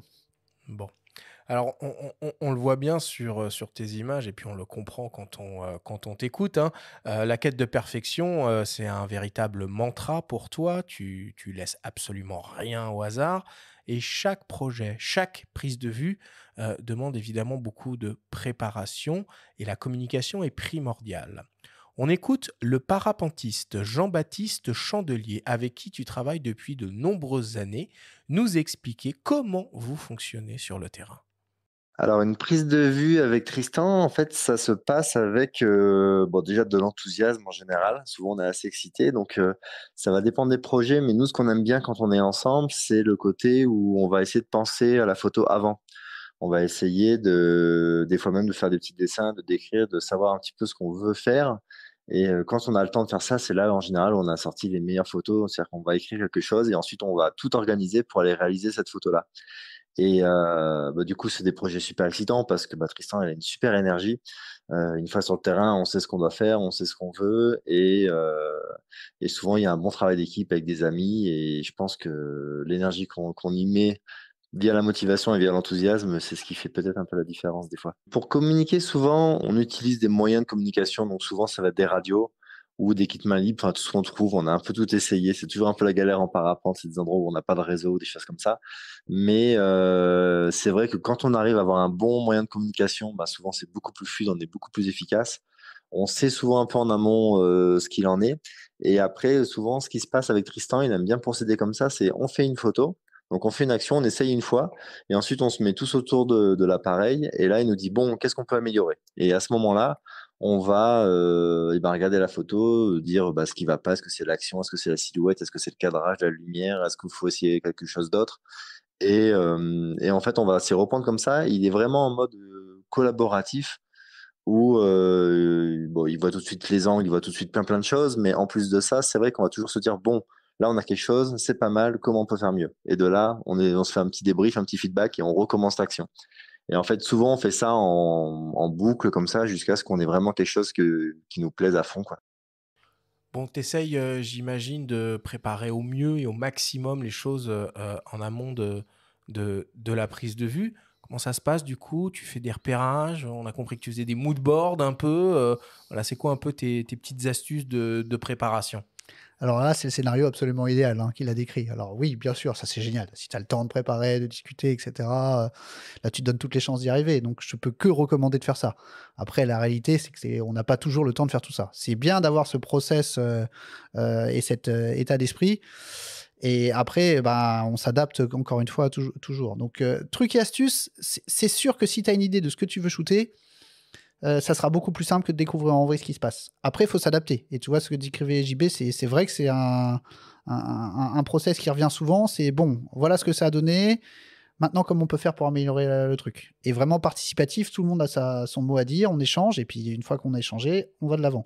Moi, j'aime bien ça parce que je trouve que c'est beaucoup plus simple si tu communiques avec ton modèle, si tu communiques avec tous les gens qui sont impliqués, d'être tous dans la même longueur d'onde. Tu vois, euh, encore une fois, c'est ma façon à moi de faire. Les gens qui sont peut-être un peu plus introvertis, euh, ils vont plus euh, intérioriser justement leur process, leur, façon de penser, pas forcément communiquer trop ça aux équipes. Ça n'empêchera pas que le résultat euh, sera peut-être très bon. Mais moi, c'est plutôt ça. C'est plutôt dans cette idée de plus je communique, plus j'arrive à mettre toutes les énergies dans la même direction, et puis plus aussi tu c'est même pas tu peux demander, c'est que naturellement il y aura un effort de tout le monde parce qu'on sait ce qu'on veut atteindre. Et donc bah, tout le monde va être motivé pour apporter sa pierre pour, pour, pour atteindre l'objectif. Quoi. Et puis on a l'impression que tu as une petite famille autour de toi. Tu parlais de tournage euh, tout à l'heure. Tu essayes au maximum de, de t'entourer des, des mêmes personnes à chaque fois? Alors bien sûr, c'est-à-dire que j'ai des affinités avec certaines personnes qui sont devenues des vrais amis, ça c'est sûr. hein, euh. Donc si je peux shooter avec eux, c'est toujours des projets euh, excitants et passionnants. Donc euh, bien sûr que il y a des projets euh, qui ont pris des années à être faits et que j'ai fait parce que je sais et que j'ai confiance dans les équipes avec qui j'ai tourné. Il y a des choses que je que je ne ferai pas si je suis avec des gens que je ne connais pas, même si le feeling est bon, etc. Parce que dans le mot extrême, euh, je, bon, je suis pas ultra fan de, de cette appellation parce que On l'a pas utilisé, hein, extrême. hein. On parle de sport extrême, mais on Ouais. parle pas. Mais si, alors, rebondissons là-dessus. Justement, arrêtons-nous sur ce mot extrême. Parce que tu évolues quand même dans des milieux euh, montagneux qui deviennent fragiles, avec de réels risques. Il y a des glaciers qui fondent. Ça prend une dimension un peu, un peu différente. Et comment, comment tu appréhendes ces changements-là, toi, dans ton activité?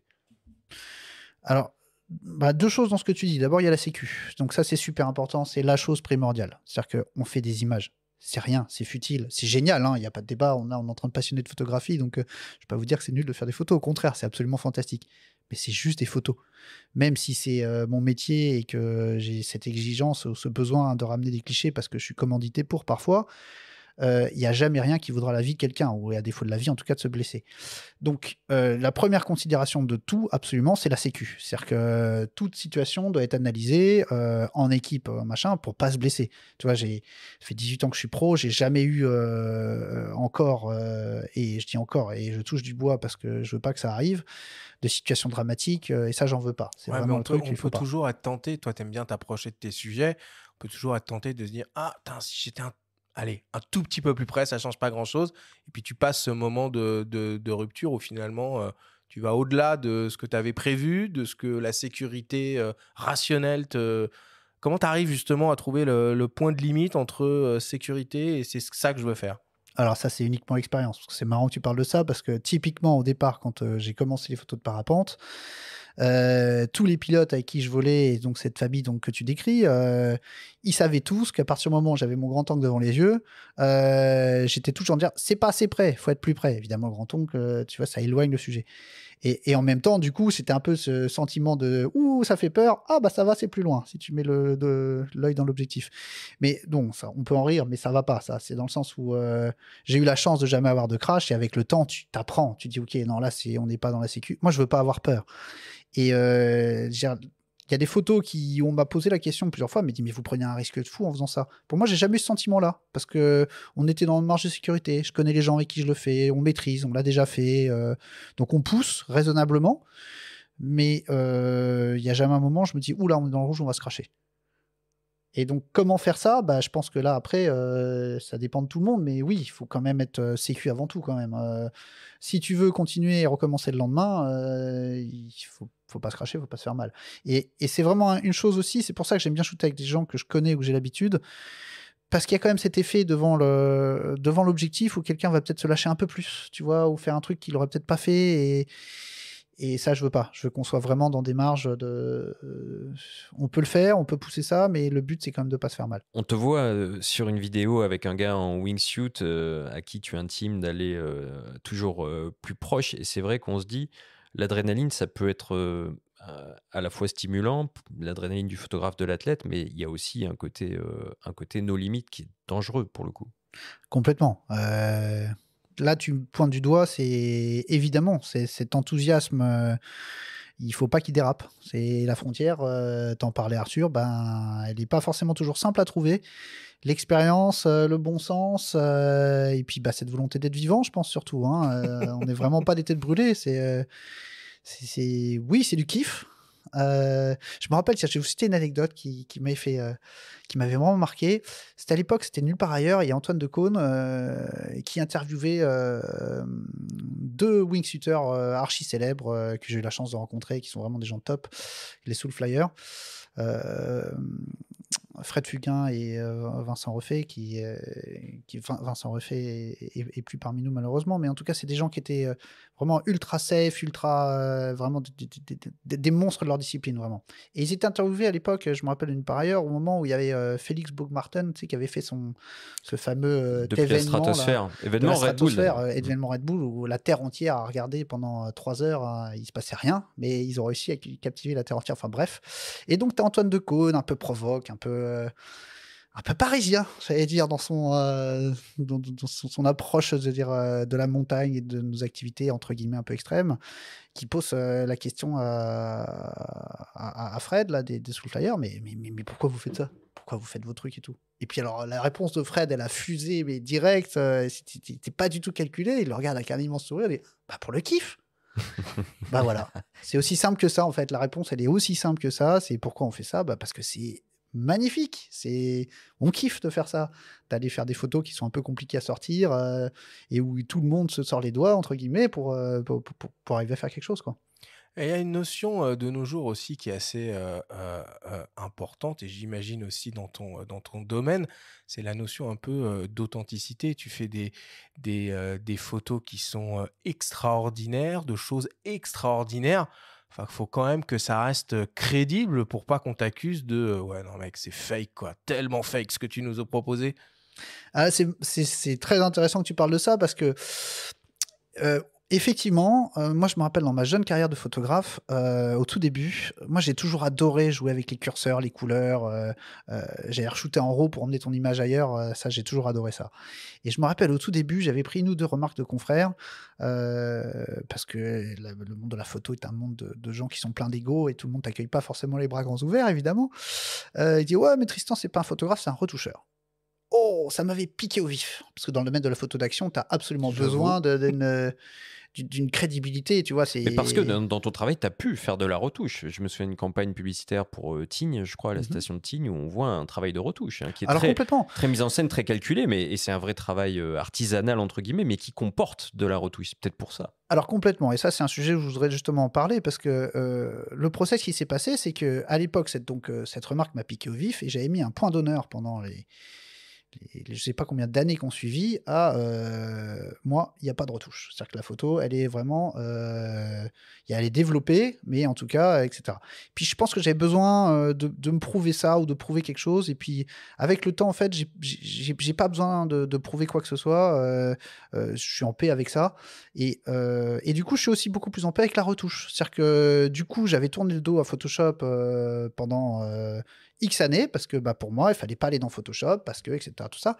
Et en fait, mais, pourquoi? Parce que, je veux dire, euh, euh, ça dépend quel domaine tu shootes. Mais si, si, moi, je fais beaucoup de photographie commerciale, c'est-à-dire que c'est des marques qui m'emploient euh, pour faire des photos pour leur communication. et euh, sur ces photos-là, en tout cas, il n'y a pas cette exigence de qualité. On veut juste une bonne image. Et pourquoi de qualité, par exemple, d'authenticité alors, pourquoi, dans ce cas-là, ne pas utiliser les outils qui sont à notre disposition pour faire une méga image? Et là, je suis complètement fan de ça. Donc, c'est maintenant, je suis plutôt en paix avec ça. Il y a des projets où, effectivement, mais je j'adore ce process qui peut avoir lieu après de post-production et puis euh, de mettre en, talent, en, avant d'autres compétences, d'autres talents, etc.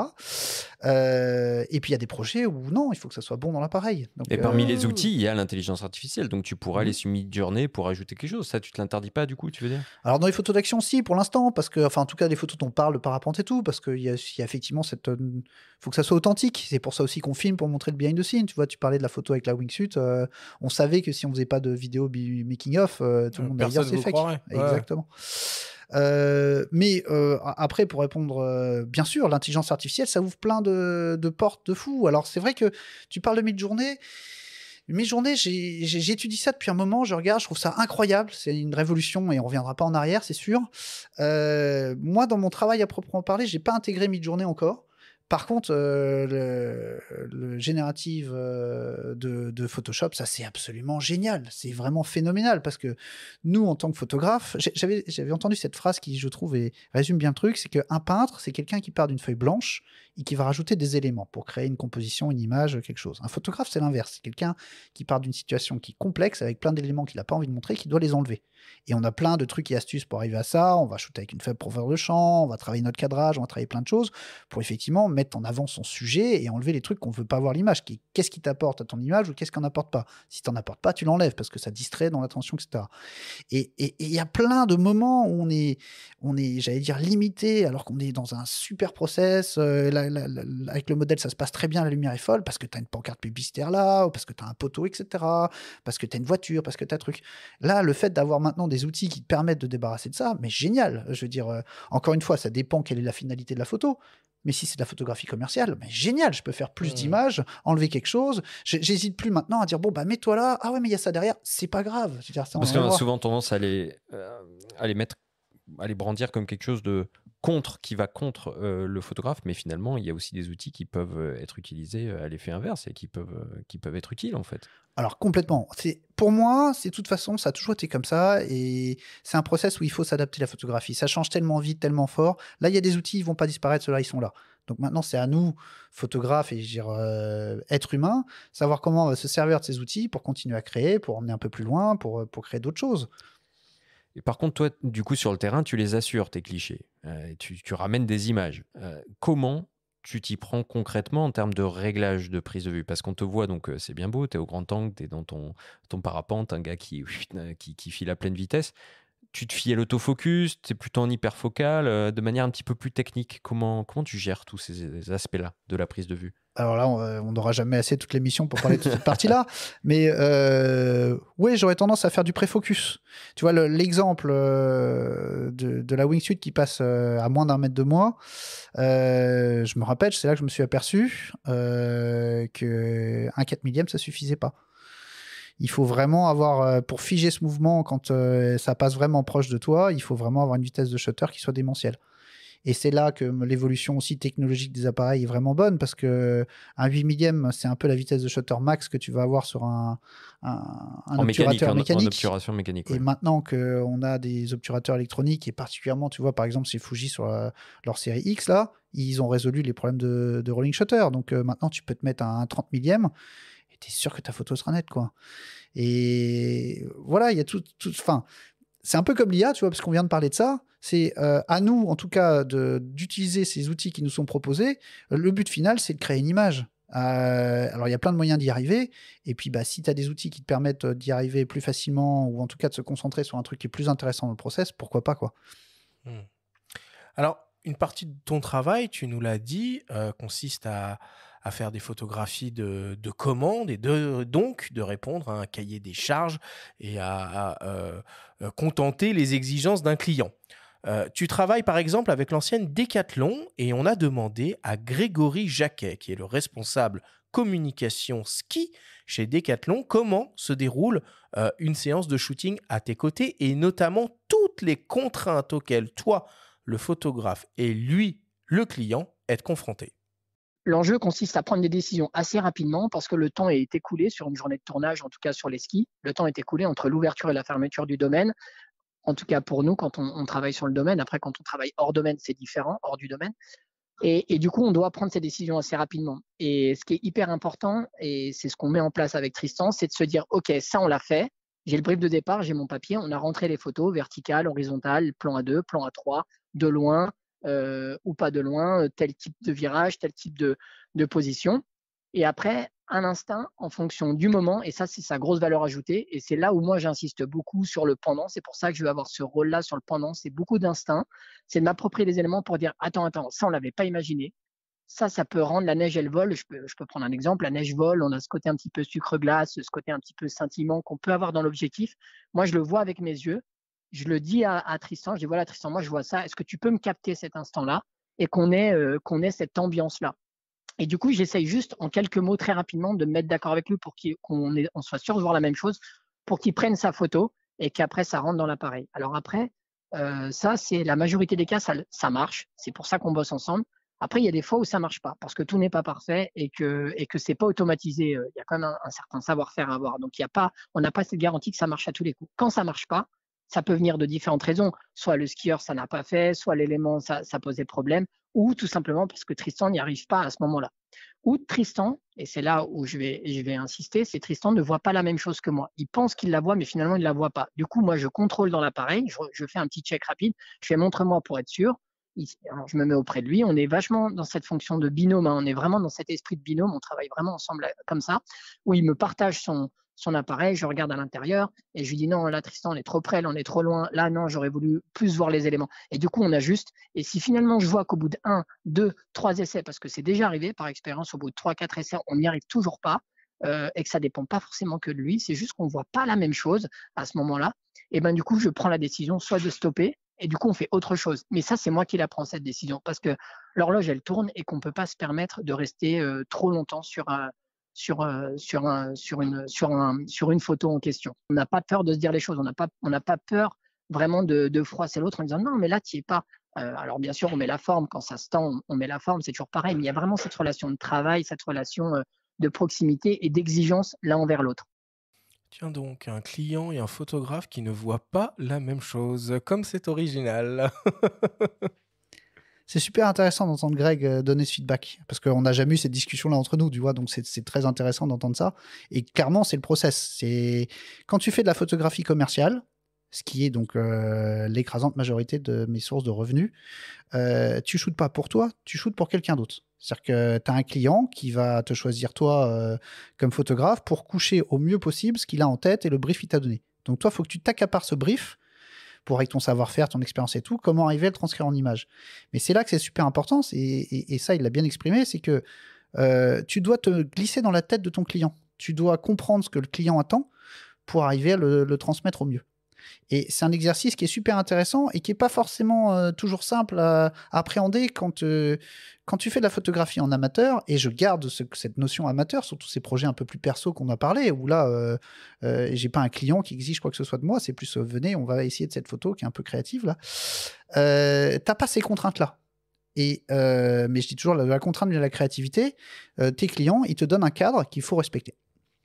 Comment tu gères, toi, ce stress sur le terrain? Parce que, est-ce que c'est à la fois une aide hein, d'avoir quelqu'un comme ça qui est très présent et qui va euh, mettre son regard sur la scène, donner son avis, mais il gère aussi finalement le timing de la... Donc ça peut être du confort. Mais pour toi, est-ce que c'est plus du confort, plus du stress et comment tu gères ça euh, sur le terrain? Alors on est tous différents. Moi je sais que j'adore avoir un, feedback immédiat. Euh, parce que bah, je suis plutôt extraverti, donc je suis toujours dans la communication. Et j'aime bien ce feedback instantané, en tout cas de mon client, parce qu'encore une fois, le but, si je fais un shooting commercial, c'est surtout de contenter mon client. C'est que les images, elles, soient, elles correspondent à ce que le client veut, qu'il soit satisfait et que du coup, bah, il me rappelle, tu vois, que j'ai d'autres euh, d'autres trucs. Si je rends une copie en disant non, mais c'est comme ça que je le vois moi, il va jamais te rappeler le gars, quoi. Euh, donc c'est vraiment un, espèce d'échange. Et là, on est tous différents, mais moi, en tout cas, ça fait partie de mon environnement euh, de travail et j'accepte, entre guillemets, et je, je, même je chéris. Tu vois, j'ai dans les préparations de shoot, il y a certains choses, j'ai ah non, mais je voudrais que le client soit présent, par exemple sur des photographies d'hôtel, etc. Parce que euh, lui, il a une vision très précise de son établissement, une vision précise de ce qu'il veut comme image. Moi, j'ai une autre vision où je vais gérer tout ce qui est lumière, cadre, etc. Tout ça. Mais typiquement, tu vois, et là, c'est un bon exemple puisque je parle de ça. Si je vais shooter dans un hôtel, en général, je shoot toujours connecté à un ordinateur parce que je veux que le client puisse voir en direct ce à quoi va ressembler la photo parce que il n'y a juste pas une paire d'yeux, il y en a au moins euh, deux, voire plus, et les gens, ils sont avec toi sur ce process créatif. Tu les impliques, ils voient le truc, et puis on voit des choses qui sont différentes. Moi, je vais les régler des problèmes de lumière, etc. Lui, il va les régler en disant, ah, mais là, je voudrais qu'on voit un peu plus le branding là, je voudrais qu'on voit un peu plus ça. Et donc, encore un autre aspect de la photographie où vraiment c'est ce travail d'équipe. Alors pour revenir à l'exemple dont, on parlait avec Greg euh, pour, pour Decathlon, euh, c'est aussi des années de pratique et de, de, de, de complicité où on peut s'adapter sur le terrain en deux secondes sur un truc en disant tiens il y a ça c'est bien on essaye qu'est-ce que tu en penses? Oui non ça se tente. Ouais allez on essaye. Et, euh, et c'est aussi important tu vois ce qu'il disait sur cette notion de timing c'est que il faut absolument que tu ramènes ce que tu dois ce que tu as été engagé pour à la fin de la journée.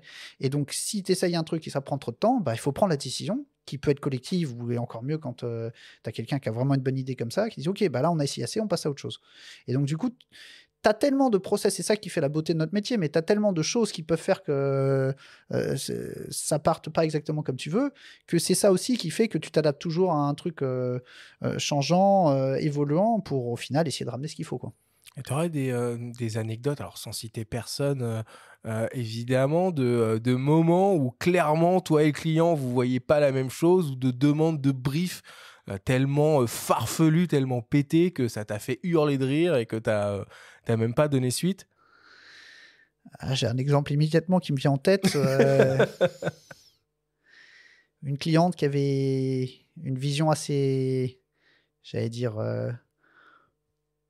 j'allais dire précise, mais non, justement, c'était pas assez précis. Euh, qui était persuadée qu'elle savait comment ça allait se passer et qui voulait absolument venir sur des photos de freeride euh, euh, pour donner son avis en direct.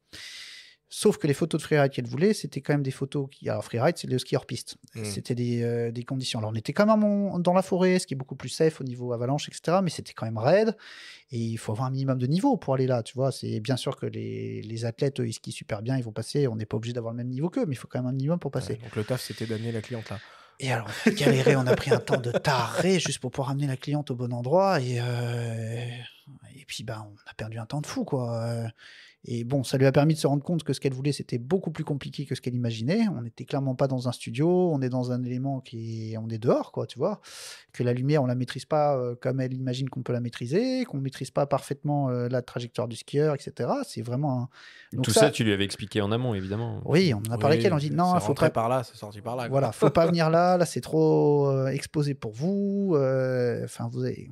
Bon, il y a des gens, il faut qu'ils le, qu'ils le vivent pour, euh, pour, pour s'en rendre compte, quoi. Euh, bon, après, on a pu retravailler ensemble, hein, mais euh, c'est ouais, c'est bah, comme ça. hein. Tu sais, j'ai des enfants, c'est c'est pareil aussi. T'as beau leur dire euh, machin, et les enfants, faut qu'ils fassent leurs bêtises pour apprendre, tu vois. Même si t'as la meilleure volonté du monde pour leur dire, mais je t'assure avec mon expérience et tout, sache que, mais c'est un process naturel et on est le premier à le faire aussi. Quoi. Bon. Alors, on l'a déjà évoqué à plusieurs reprises hein, au cours de, cette émission, mais il existe quelques vidéos qui montrent évidemment l'envers du décor. Et ces making-of nous montrent comment tu opères sur le terrain, mais surtout, on comprend que tu travailles souvent en équipe et qu'il faut savoir composer avec les différentes personnalités et besoins en termes d'image des uns et des autres. Le réalisateur Maxime Moulin aborde cette collaboration, pas toujours évidente, entre photographe et vidéaste. Ça a été une des premières personnes avec qui j'ai euh, que j'ai rencontré dans le milieu de la photo, de la vidéo. Et il m'a accompagné, il m'a apporté beaucoup dans mon développement. Et du coup, j'ai appris à bosser avec un photographe avec lui. Et au fil des années, ben, cette, euh, cette relation, elle s'est étoffée dans le sens où on s'est mis à partager beaucoup de projets, à se partager le terrain aussi, euh, se partager un set. En fait, ça se fait assez naturellement. On n'a pas vraiment euh, établi de plan ou euh, une façon, une méthode de bosser. C'est chacun laisse la place à l'autre, chacun s'inspire de l'autre et, chacun écoute l'autre dans ce qu'il a besoin de, faire au moment, au moment venu. Donc c'est une relation assez saine, assez facile et, euh, et voilà. C'est sur de la confiance essentiellement. Tristan, il a une personnalité euh, assez forte quand même. C'est quelqu'un de très très expressif, très très jovial, avec une énergie positive euh, tout le temps à 200%. Et c'est vrai que des fois, bah nous, en faisant des films, on a besoin d'avoir la prise son direct. Donc bah là, on en parle, on, on essaie de que chacun euh, respecte ce moment-là. Mais cette énergie positive, elle, elle, est, elle, est, elle booste tout le temps le, projet, elle booste le, tournage et les équipes. Donc ça, c'est un gros plus euh, quand on est avec Tristan. Et après, euh, le moment où, où chacun doit trouver sa place, en fait, c'est juste de l'entente et de, de l'habitude de bosser ensemble. C'est-à-dire que moi, en vidéo, j'ai souvent tendance à être au grand angle et à être très très proche de mes, de mes sujets. Et euh, c'est vrai que des fois, ça fait un peu, euh, un peu euh, péter un plomb les photographes parce que j'ai tendance à rentrer dans leurs images. Mais du coup, on se laisse la place. Si je suis rentré dans un plan à Tristan, eh ben il me le dit et puis je fais un pas en arrière et vice versa. C'est, c'est toujours hyper facile et toujours très très motivant de bosser avec Tristan. Alors du coup, sur tes, sur tes sets de commandes, c'est tellement des, des, des, des, des, process compliqués à mettre en place que le client en profite et pour faire la photo et la vidéo en même temps? Alors c'est très souvent effectivement que c'est des shoots où il euh, y a une équipe euh, de filmmakers et la photographie en même temps. Quoi. Donc là, c'est vraiment des relations humaines. c'est la bienveillance, bien comprendre effectivement qu'on n'a pas les mêmes besoins, qu'on a besoin tous de ramener nos, shots et de faire en sorte de la meilleure manière à, collaborer. Après, c'est une aventure humaine. Le caractère de Maxime et le mien, euh, par exemple, un match complet. C'est-à-dire que, c'est, comme il disait, c'est, on n'a pas besoin de pré-plan parce que c'est facile. Mais du coup, sur, sur le terrain, vous avez chacun vos trucs spécifiques à faire. Finalement, il y a quand même une espèce de d'entente cordiale et d'inspiration mutuelle qui se met en place entre la team photo et la team vidéo. Complètement. C'est qu'effectivement, on n'a pas forcément exactement la même façon d'aller chercher l'image. Euh, mais je trouve ça finalement très inspirant de voir, ok, ils ont choisi cet angle, bah, ça me donne des idées, euh, et vice-versa. Et c'est souvent qu'on se chambre en, en, plus parce que bah, c'est des gens avec qui on bosse depuis un moment et dire, euh, tu vois, la, la, blague qui fuse tout le temps, c'est euh, ah mais la photo c'est trop simple. Euh, et elle est à l'inverse. Euh, moi ce que je dis tout le temps, c'est euh, encore une fois, venez chercher l'angle du photographe, etc. Enfin bon, c'est vraiment de la chambrouille, mais c'est vrai que ça reflète un peu le, le process, à savoir que on s'inspire les uns les autres. C'est-à-dire que c'est la meilleure façon de travailler de toute façon parce que si on se met en compétition, on n'optimise pas du tout le temps qui nous est donné, les athlètes, les moyens, etc. Et euh, ce travail collectif, de dire ok, euh, je sais que toi tu as besoin de ça, moi j'ai besoin de ça, comment on peut faire pour le faire ensemble? Si on peut le faire en même temps, génial. Si on peut le faire l'un après l'autre, on... au minimum ça va m'inspirer pour mon shoot à moi. Au minimum. Mmh. Et t'as jamais été tenté de glisser vers la vidéo, justement? La vidéo prend une place de plus en plus importante, surtout euh, les boîtiers, y compris les GFX. Moyen format, c'est pas quelque chose qui te botterait? J'adore la vidéo, c'est-à-dire que la vidéo c'est omniprésent, vraiment. Euh, je vous dis, je travaille quasiment tout le temps avec des filmmakers.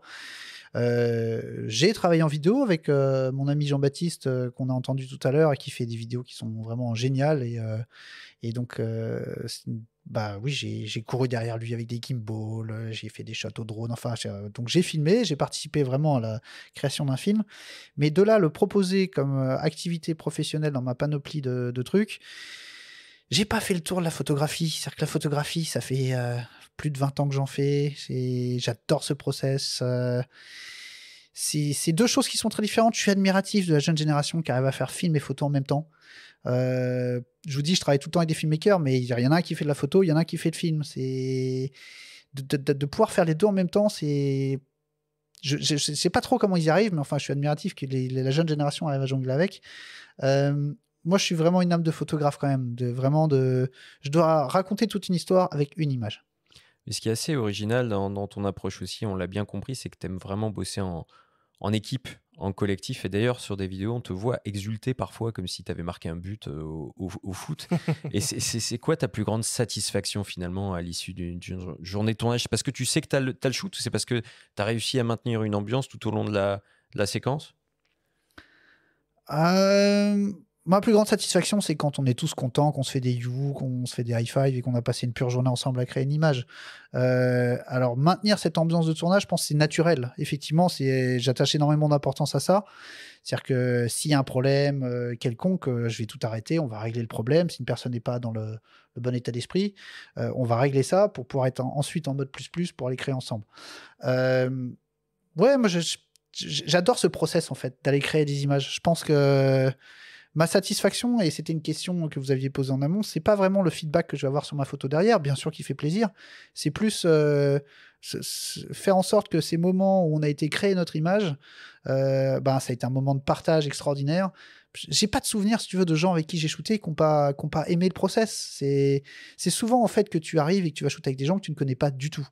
Et dans un process humain normal, tu peux pas être en confiance et de communiquer avec quelqu'un que, enfin, c'est naturel, tu vois. Sauf qu'il faut un peu de temps pour se connaître et s'apprendre des machins. Sauf que nous, on n'a pas ce temps-là. Et euh, j'adore ce fait, euh, c'est que deux temps, trois mouvements, faut qu'on arrive à comprendre qu'on est ensemble, qu'on est alliés, qu'on n'est pas du tout l'un contre l'autre et qu'on on doit synchroniser nos énergies pour arriver au résultat. Et c'est un process qui humainement est très enrichissant et que j'aime beaucoup. Et la, plupart des gens avec qui j'ai pu photographier, euh, on en sort, on est ravis. On... Et, puis, et puis, tu sais, c'est un truc, euh, tu vois la personnalité des gens en deux secondes. Euh, tu peux pas vraiment mentir euh, quand tu fais des photos. Si tu vois des traits de caractère, tu vois des traits de caractère, tu vois des, et puis, bah, t'accroches, t'accroches pas, mais en général, t'accroches parce que, enfin voilà, t'as transpiré ensemble. C'est vraiment cette C'est marrant que tu parles de traits de caractère parce que dans les sports euh, extrêmes, il y a des casques, il y a des lunettes, il y a des choses comme ça. Il y a peut-être des choses qui sont pas forcément perceptibles. C'est marrant que tu, tu, parles de ça. Ouais.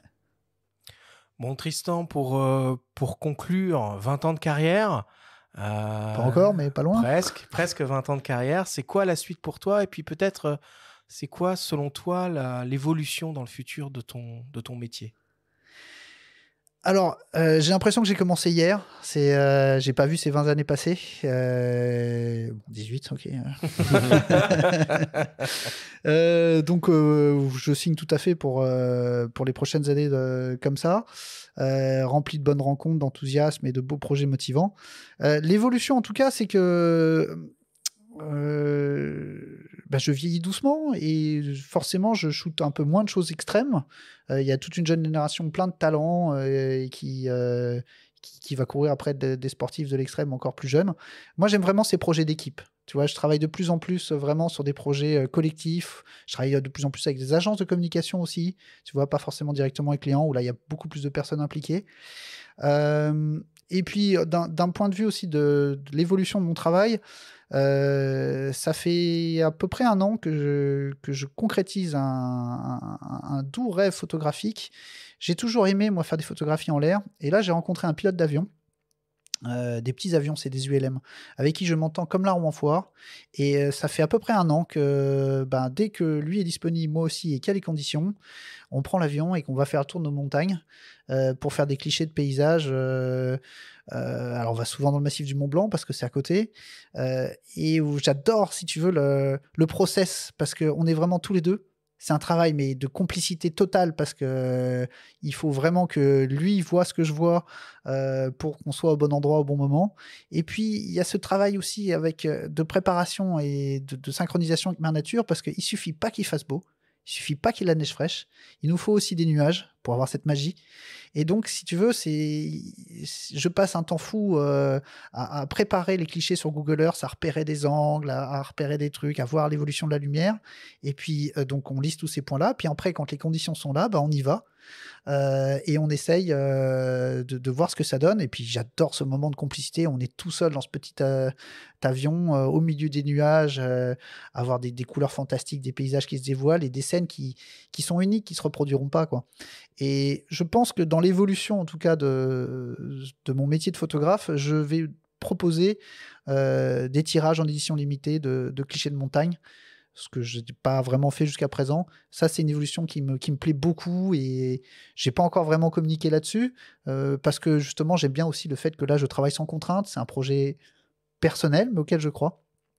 Et je vais sans doute faire pas mal de choses. Ça a été aussi très inspiré au niveau technique, c'est que le fait d'avoir des moyens formats en image, une qualité d'image aussi exceptionnelle, le fait de regarder tes photos imprimées en grand, euh, c'est le Nike le plus ultra parce que finalement les photos on les consomme, on les déguste, elles, sont, elles passent très vite dans nos fils, sur nos téléphones, euh, etc. Et la finalité d'une photo, enfin je trouve pour pouvoir la déguster de la meilleure manière du monde, c'est imprimer et imprimer en grand. Eh ben, écoute, on va conclure, euh, on va conclure sur ces mots. Merci beaucoup, euh, Tristan, euh, d'avoir partagé tout ça avec nous. C'était passionnant. puis on comprend mieux maintenant qui est derrière ces images absolument incroyables qu'on peut, peut voir de, de sport outdoor, de sport, de sport extrême. Merci vraiment beaucoup. Il est temps de passer à la suite.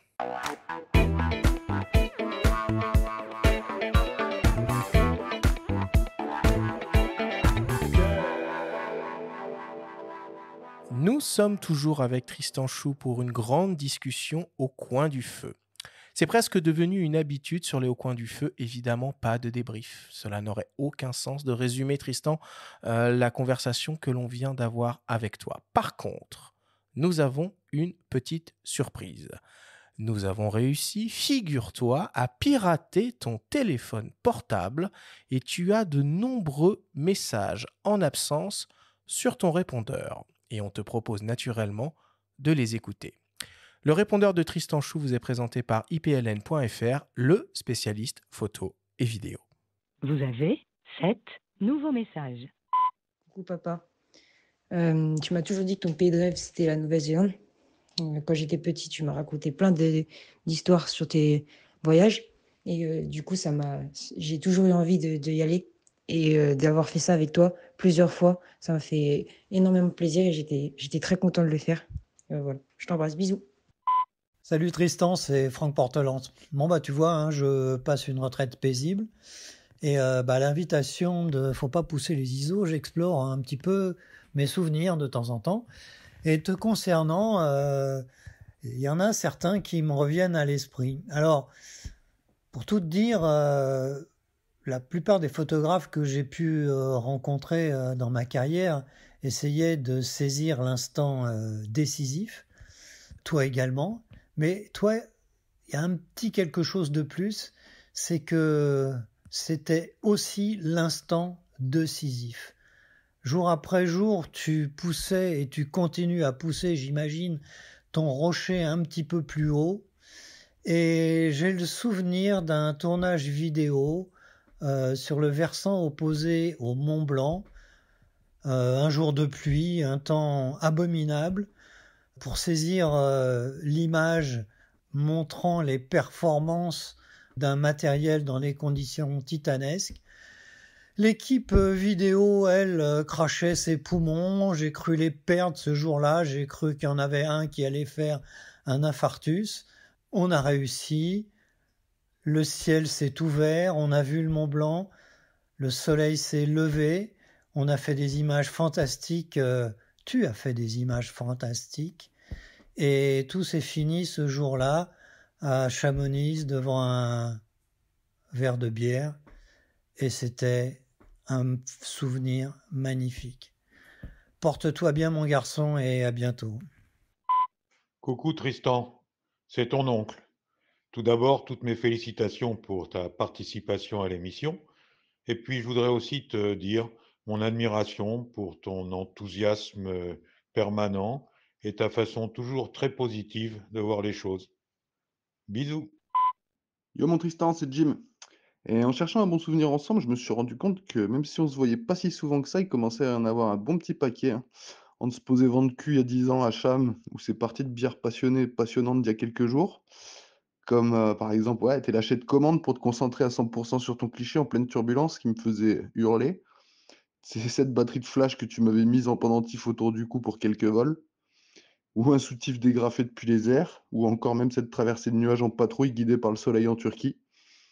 En tout cas, c'était toujours animé par ta motivation sans faille, même quand tout le monde traînait la patte. Alors, bah, juste merci pour tous ces moments et en attendant avec impatience tout ce à venir, la bise poteau.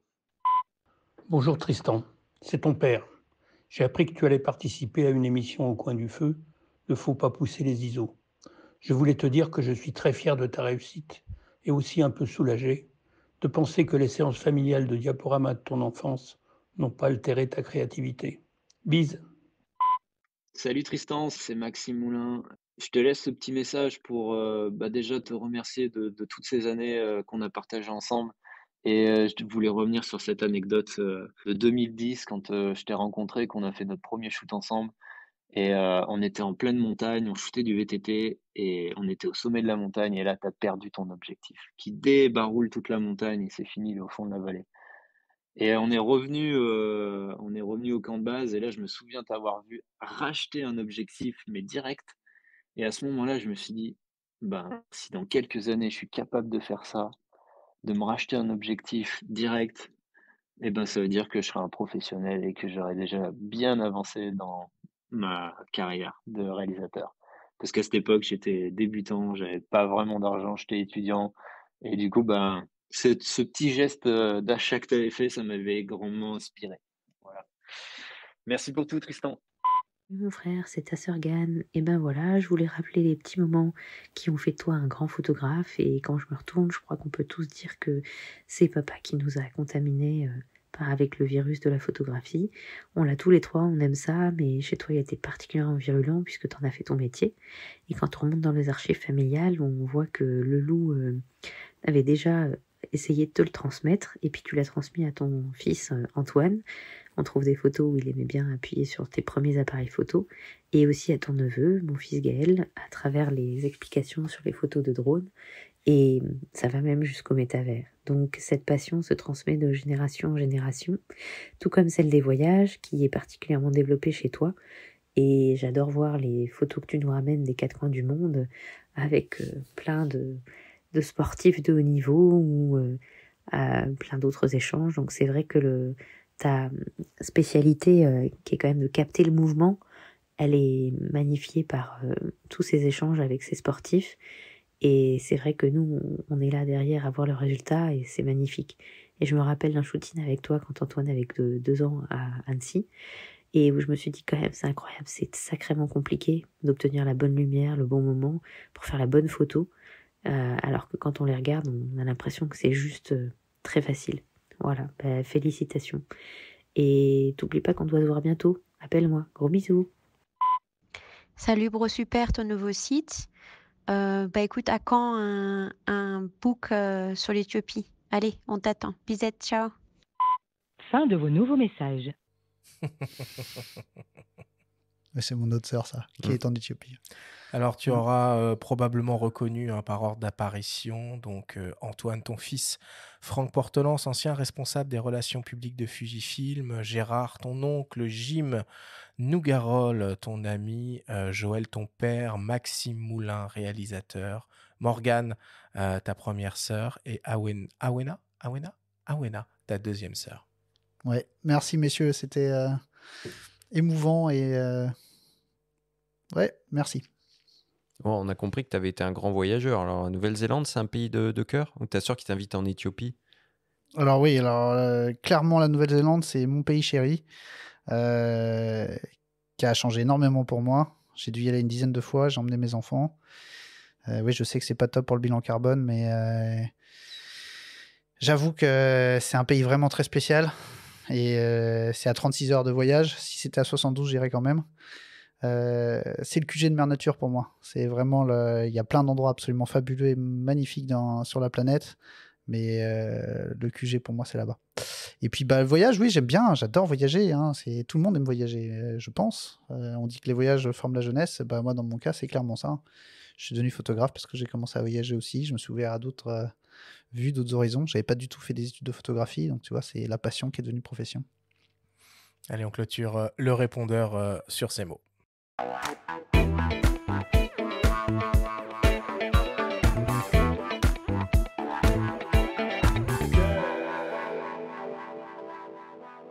Tristan, il est temps de passer à la dernière partie de cette émission et d'attaquer notre traditionnel quiz.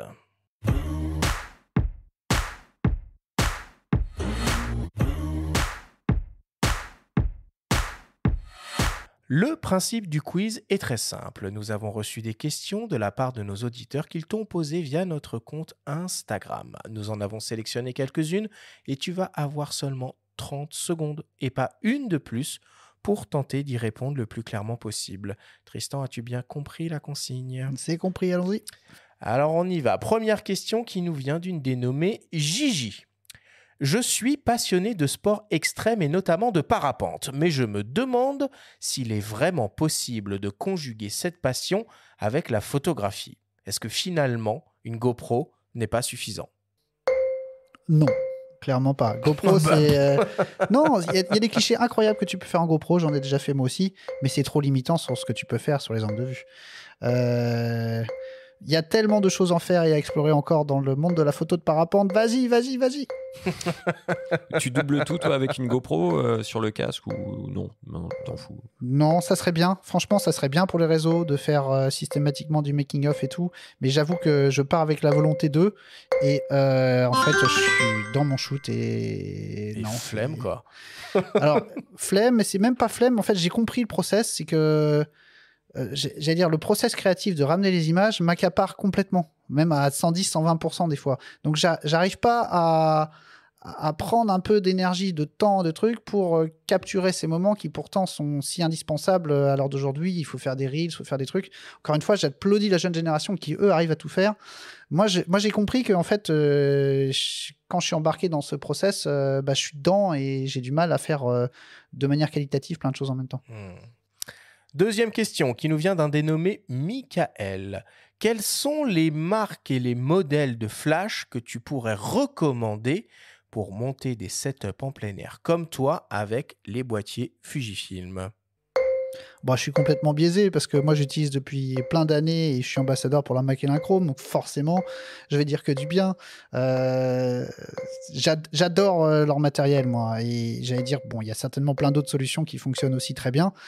Euh, ce qu'il faut, c'est avant, parce que ça, coûte un peu des sous quand même, faut bien et avoir une bonne vision des limites de son matériel. Parce qu'il y a beaucoup de contraintes qu'on n'a pas forcément notifiées, qui sont liées à la photographie euh, flash en plein air. Donc il faut étudier un peu avant, il faut essayer avant d'acheter. J'ai débordé, pardon. c'est pas grave, c'est pas grave. Troisième question qui nous vient d'une dénommée Sandrine. Je comprends le choix de la PSC quand on fait beaucoup du sport, mais quand on voit les performances des appareils plein format actuellement, pourquoi se limiter en taille de capteur? Ou finalement, pourquoi pas les GFX Il y a plein de raisons qui feront compte. 30 secondes, ça va être dur. Je vais essayer de parler plus vite pour y arriver. Euh, le temps, l'argent, le poids. euh, je pense que la qualité actuelle des APS-C, euh, en tout cas sur tout ce qui sort en réseaux sociaux, ça fera pas la diff par rapport à un plein format. Encombrement, flexibilité, j'ai pris. c'est plein de raisons qui peuvent faire qu'un APS-C, ça peut être vraiment un bon choix. Tu vois, on est t- très bien sorti en 30 secondes. Ouais, pas mal. Parfait. Moi, j'ai des shoots pro quand même que je fais à la PSC. Hein. Je veux dire, euh, j'ai. Jamais un client qui s'est plaint d'une image que j'ai ramenée à la PSC en disant Ah, c'est pas une image de, moyen format. Ça, c'est. Je trouve c'est un débat euh, qui n'a pas lieu d'être dans la réalité du terrain. Jamais un client. Enfin, il- le client, il va pas regarder si ton truc s'est fait avec euh, un boîtier X, Y, Z, si c'est fait avec un APS-C, avec un moyen format, avec un plein format. Euh, le client, il va surtout est-ce que j'ai euh, la qualité d'image qu'il me faut? Est-ce que euh, c'est ce que j'avais demandé dans le brief? Est-ce que l'image est d'une résolution suffisante pour que je puisse la recadrer dans tous les sens? Bah, Justement, les capteurs de 40 millions en APS-C, euh, courte parenthèse, ça t'a apporté quelque chose, toi, par rapport à ça? Bah, c'est marrant parce que je l'attendais euh, depuis longtemps, ce capteur à 40 millions de pixels. Et finalement, je suis resté sur un 26 sur la PSC. Euh, parce que finalement, euh, dans mon utilisation en tout cas, euh, le XH2S, euh, qui est la PSC haut de gamme à l'heure actuelle de la série X, le meilleur autofocus, les meilleures performances, elles sont sur le 26. Le 40, euh, c'est tout à fait acceptable, c'est un léger compromis. Mais moi, j'ai le GFX. Donc, euh, je préfère, euh, si je dois faire un compromis, j'ai GFX. Et si je veux vraiment le nec le plus ultra, c'est-à-dire être sûr de ramener mon image quand il n'y a pas de lumière, euh, quand l'autofocus est compliqué, etc., bah, j'ai le, le, le 26. Et ça a été un vrai débat, hein, parce que j'ai essayé les deux, j'en ai parlé plein avec les chefs produits de Fuji. Et, euh, et en fait, ce qui a emporté le morceau, c'est que j'étais sur un shoot euh, euh, pour Nike Intersport, je me rappelle, où il fallait des conditions automnales, pluvieuses. On était la montagne, on avait froid, on était en sous-bois, la lumière était vraiment infâme. Et enfin, compliqué, pas infâme, compliqué. Et j'avais shooté avec les deux, et je me rappelle après avoir trié, j'avais vu qu'il y avait beaucoup plus finalement de photos sharp comme je voulais. Et c'est ça qui a emporté le morceau. Mais si Mhm. j'avais pas eu ce, ce cas de figure-là précis, je serais parti sur le 40. euh, parce que bah, ça, ça, ça suffit largement, j'imagine, dans l'écrasante majorité des cas. Mais moi, dans mon utilisation à moi, j'ai eu cette, euh, ce cas très spécifique où là, typiquement, il me faut le meilleur du meilleur. Bon. Et enfin, quatrième et dernière question qui nous vient de Bruno. Quelle est la photo dont tu es le plus fier et pourquoi? Ouah, trop dur, trop dur d'en choisir une seule. Ça, c'est vraiment compliqué. Euh, Je pense que si je dois répondre à brûle le pourpoint comme ça, je vais sans doute prendre cette photo qui était pour la campagne pour le flash et l'inchrome qu'on a shooté en Turquie, où pendant dix jours on s'est euh, euh, battu pour ramener tout un tas de photos euh, le plus extrême, le plus belle possible. Et on a eu ce soir où Mère Nature, je pense, nous a euh, dans nos efforts. Nous a dit Allez, ça fait dix jours que vous y êtes, je vous donne un coucher de soleil extraordinaire. Il y a eu un trou dans les nuages où euh, d'habitude on ne va pas parce qu'en parapente il faut surtout pas se faire enfermer dans les nuages. Et euh, là, pour le coup, on s'est tous, j'allais dire, regardé, on s'est tous parlé avec l'équipe euh, en radio. On devait être 7 ou 8 parapentes ensemble, donc une petite armada. On a vu ce truc et on a tous dit c'est un instant magique. On y va. Et on a donc infléchi notre course pour passer dans ce trou dans les nuages.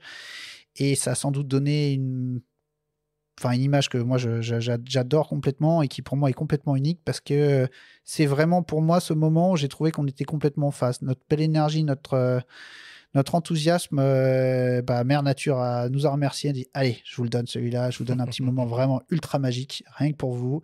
Et c'était incroyable. Et d'avoir partagé ça euh, avec plein d'amis, et puis en plus sur un projet commercial, enfin, il y avait tout qui était aligné. C'était vraiment ces petits moments, tu sais, euh, on essaye de tout prévoir. C'est- une question que alors je déborde complètement sur celle-là, mais Légèrement, mais c'est pas grave. J'ai déjà eu cette remarque en disant mais ouais mais t'as trop de chance, euh, t'es toujours là euh, quand ta lumière est folle, etc. Mais on fait tout pour. Donc euh, au bout d'un moment, oui, des fois t'as de la, La chance. chance, ça se provoque. hein. Exactement. Et là, c'est vraiment ce moment-là où euh, je sais pas si je revivrai un moment comme ça, où vraiment il y a absolument tout s'est aligné. C'était pas du tout prévu et ça a été un moment de pure magie. Et tous les gens qui étaient là, tu prends pas, on pourra leur en parler. Il y en a pas un seul qui l'aura oublié. Quoi. Bon, allez, on conclut le quiz là-dessus. Merci Tristan.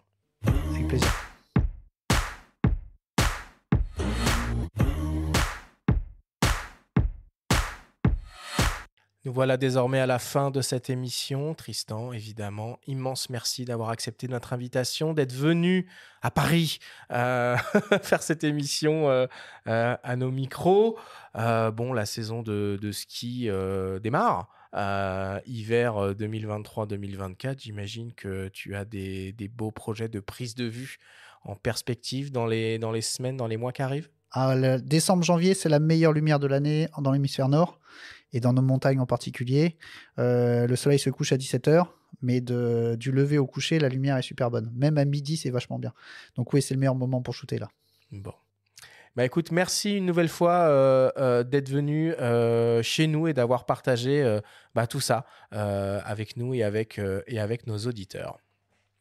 La semaine prochaine, on vous propose deux rendez-vous. Mardi, pour commencer avec une émission spéciale dédiée au nouveau Lumix G9 Mark II. Et puis jeudi, avec une masterclass dédiée à la mise en place d'un setup lumière flash pour se lancer dans le portrait en studio.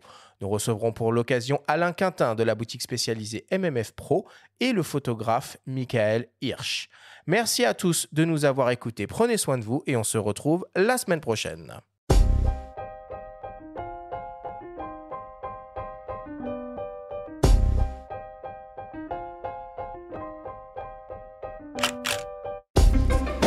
C'était Faut pas pousser les ISO, le podcast hebdo pour tous les passionnés de photos et de vidéos. Toutes les semaines, retrouvez Arthur Azoulay, Benjamin Favier et leurs invités pour parler de sujets matos, techniques et inspiration. Cet épisode vous a été présenté par Fujifilm avec la série X et le système grand format GFX, des appareils hybrides dotés d'une qualité d'image unique. Abonnez-vous à notre chaîne et retrouvez l'intégralité de nos émissions depuis toutes les plateformes d'écoute, comme Spotify, Apple Podcasts, Google Podcasts, Deezer, Amazon Music et YouTube. Si vous aimez notre podcast, n'hésitez pas à liker, à vous abonner et à nous laisser un petit commentaire. Rendez-vous mardi prochain pour un nouvel épisode. D'ici la fête de la photo et n'oubliez pas, faut pas pousser les ISO.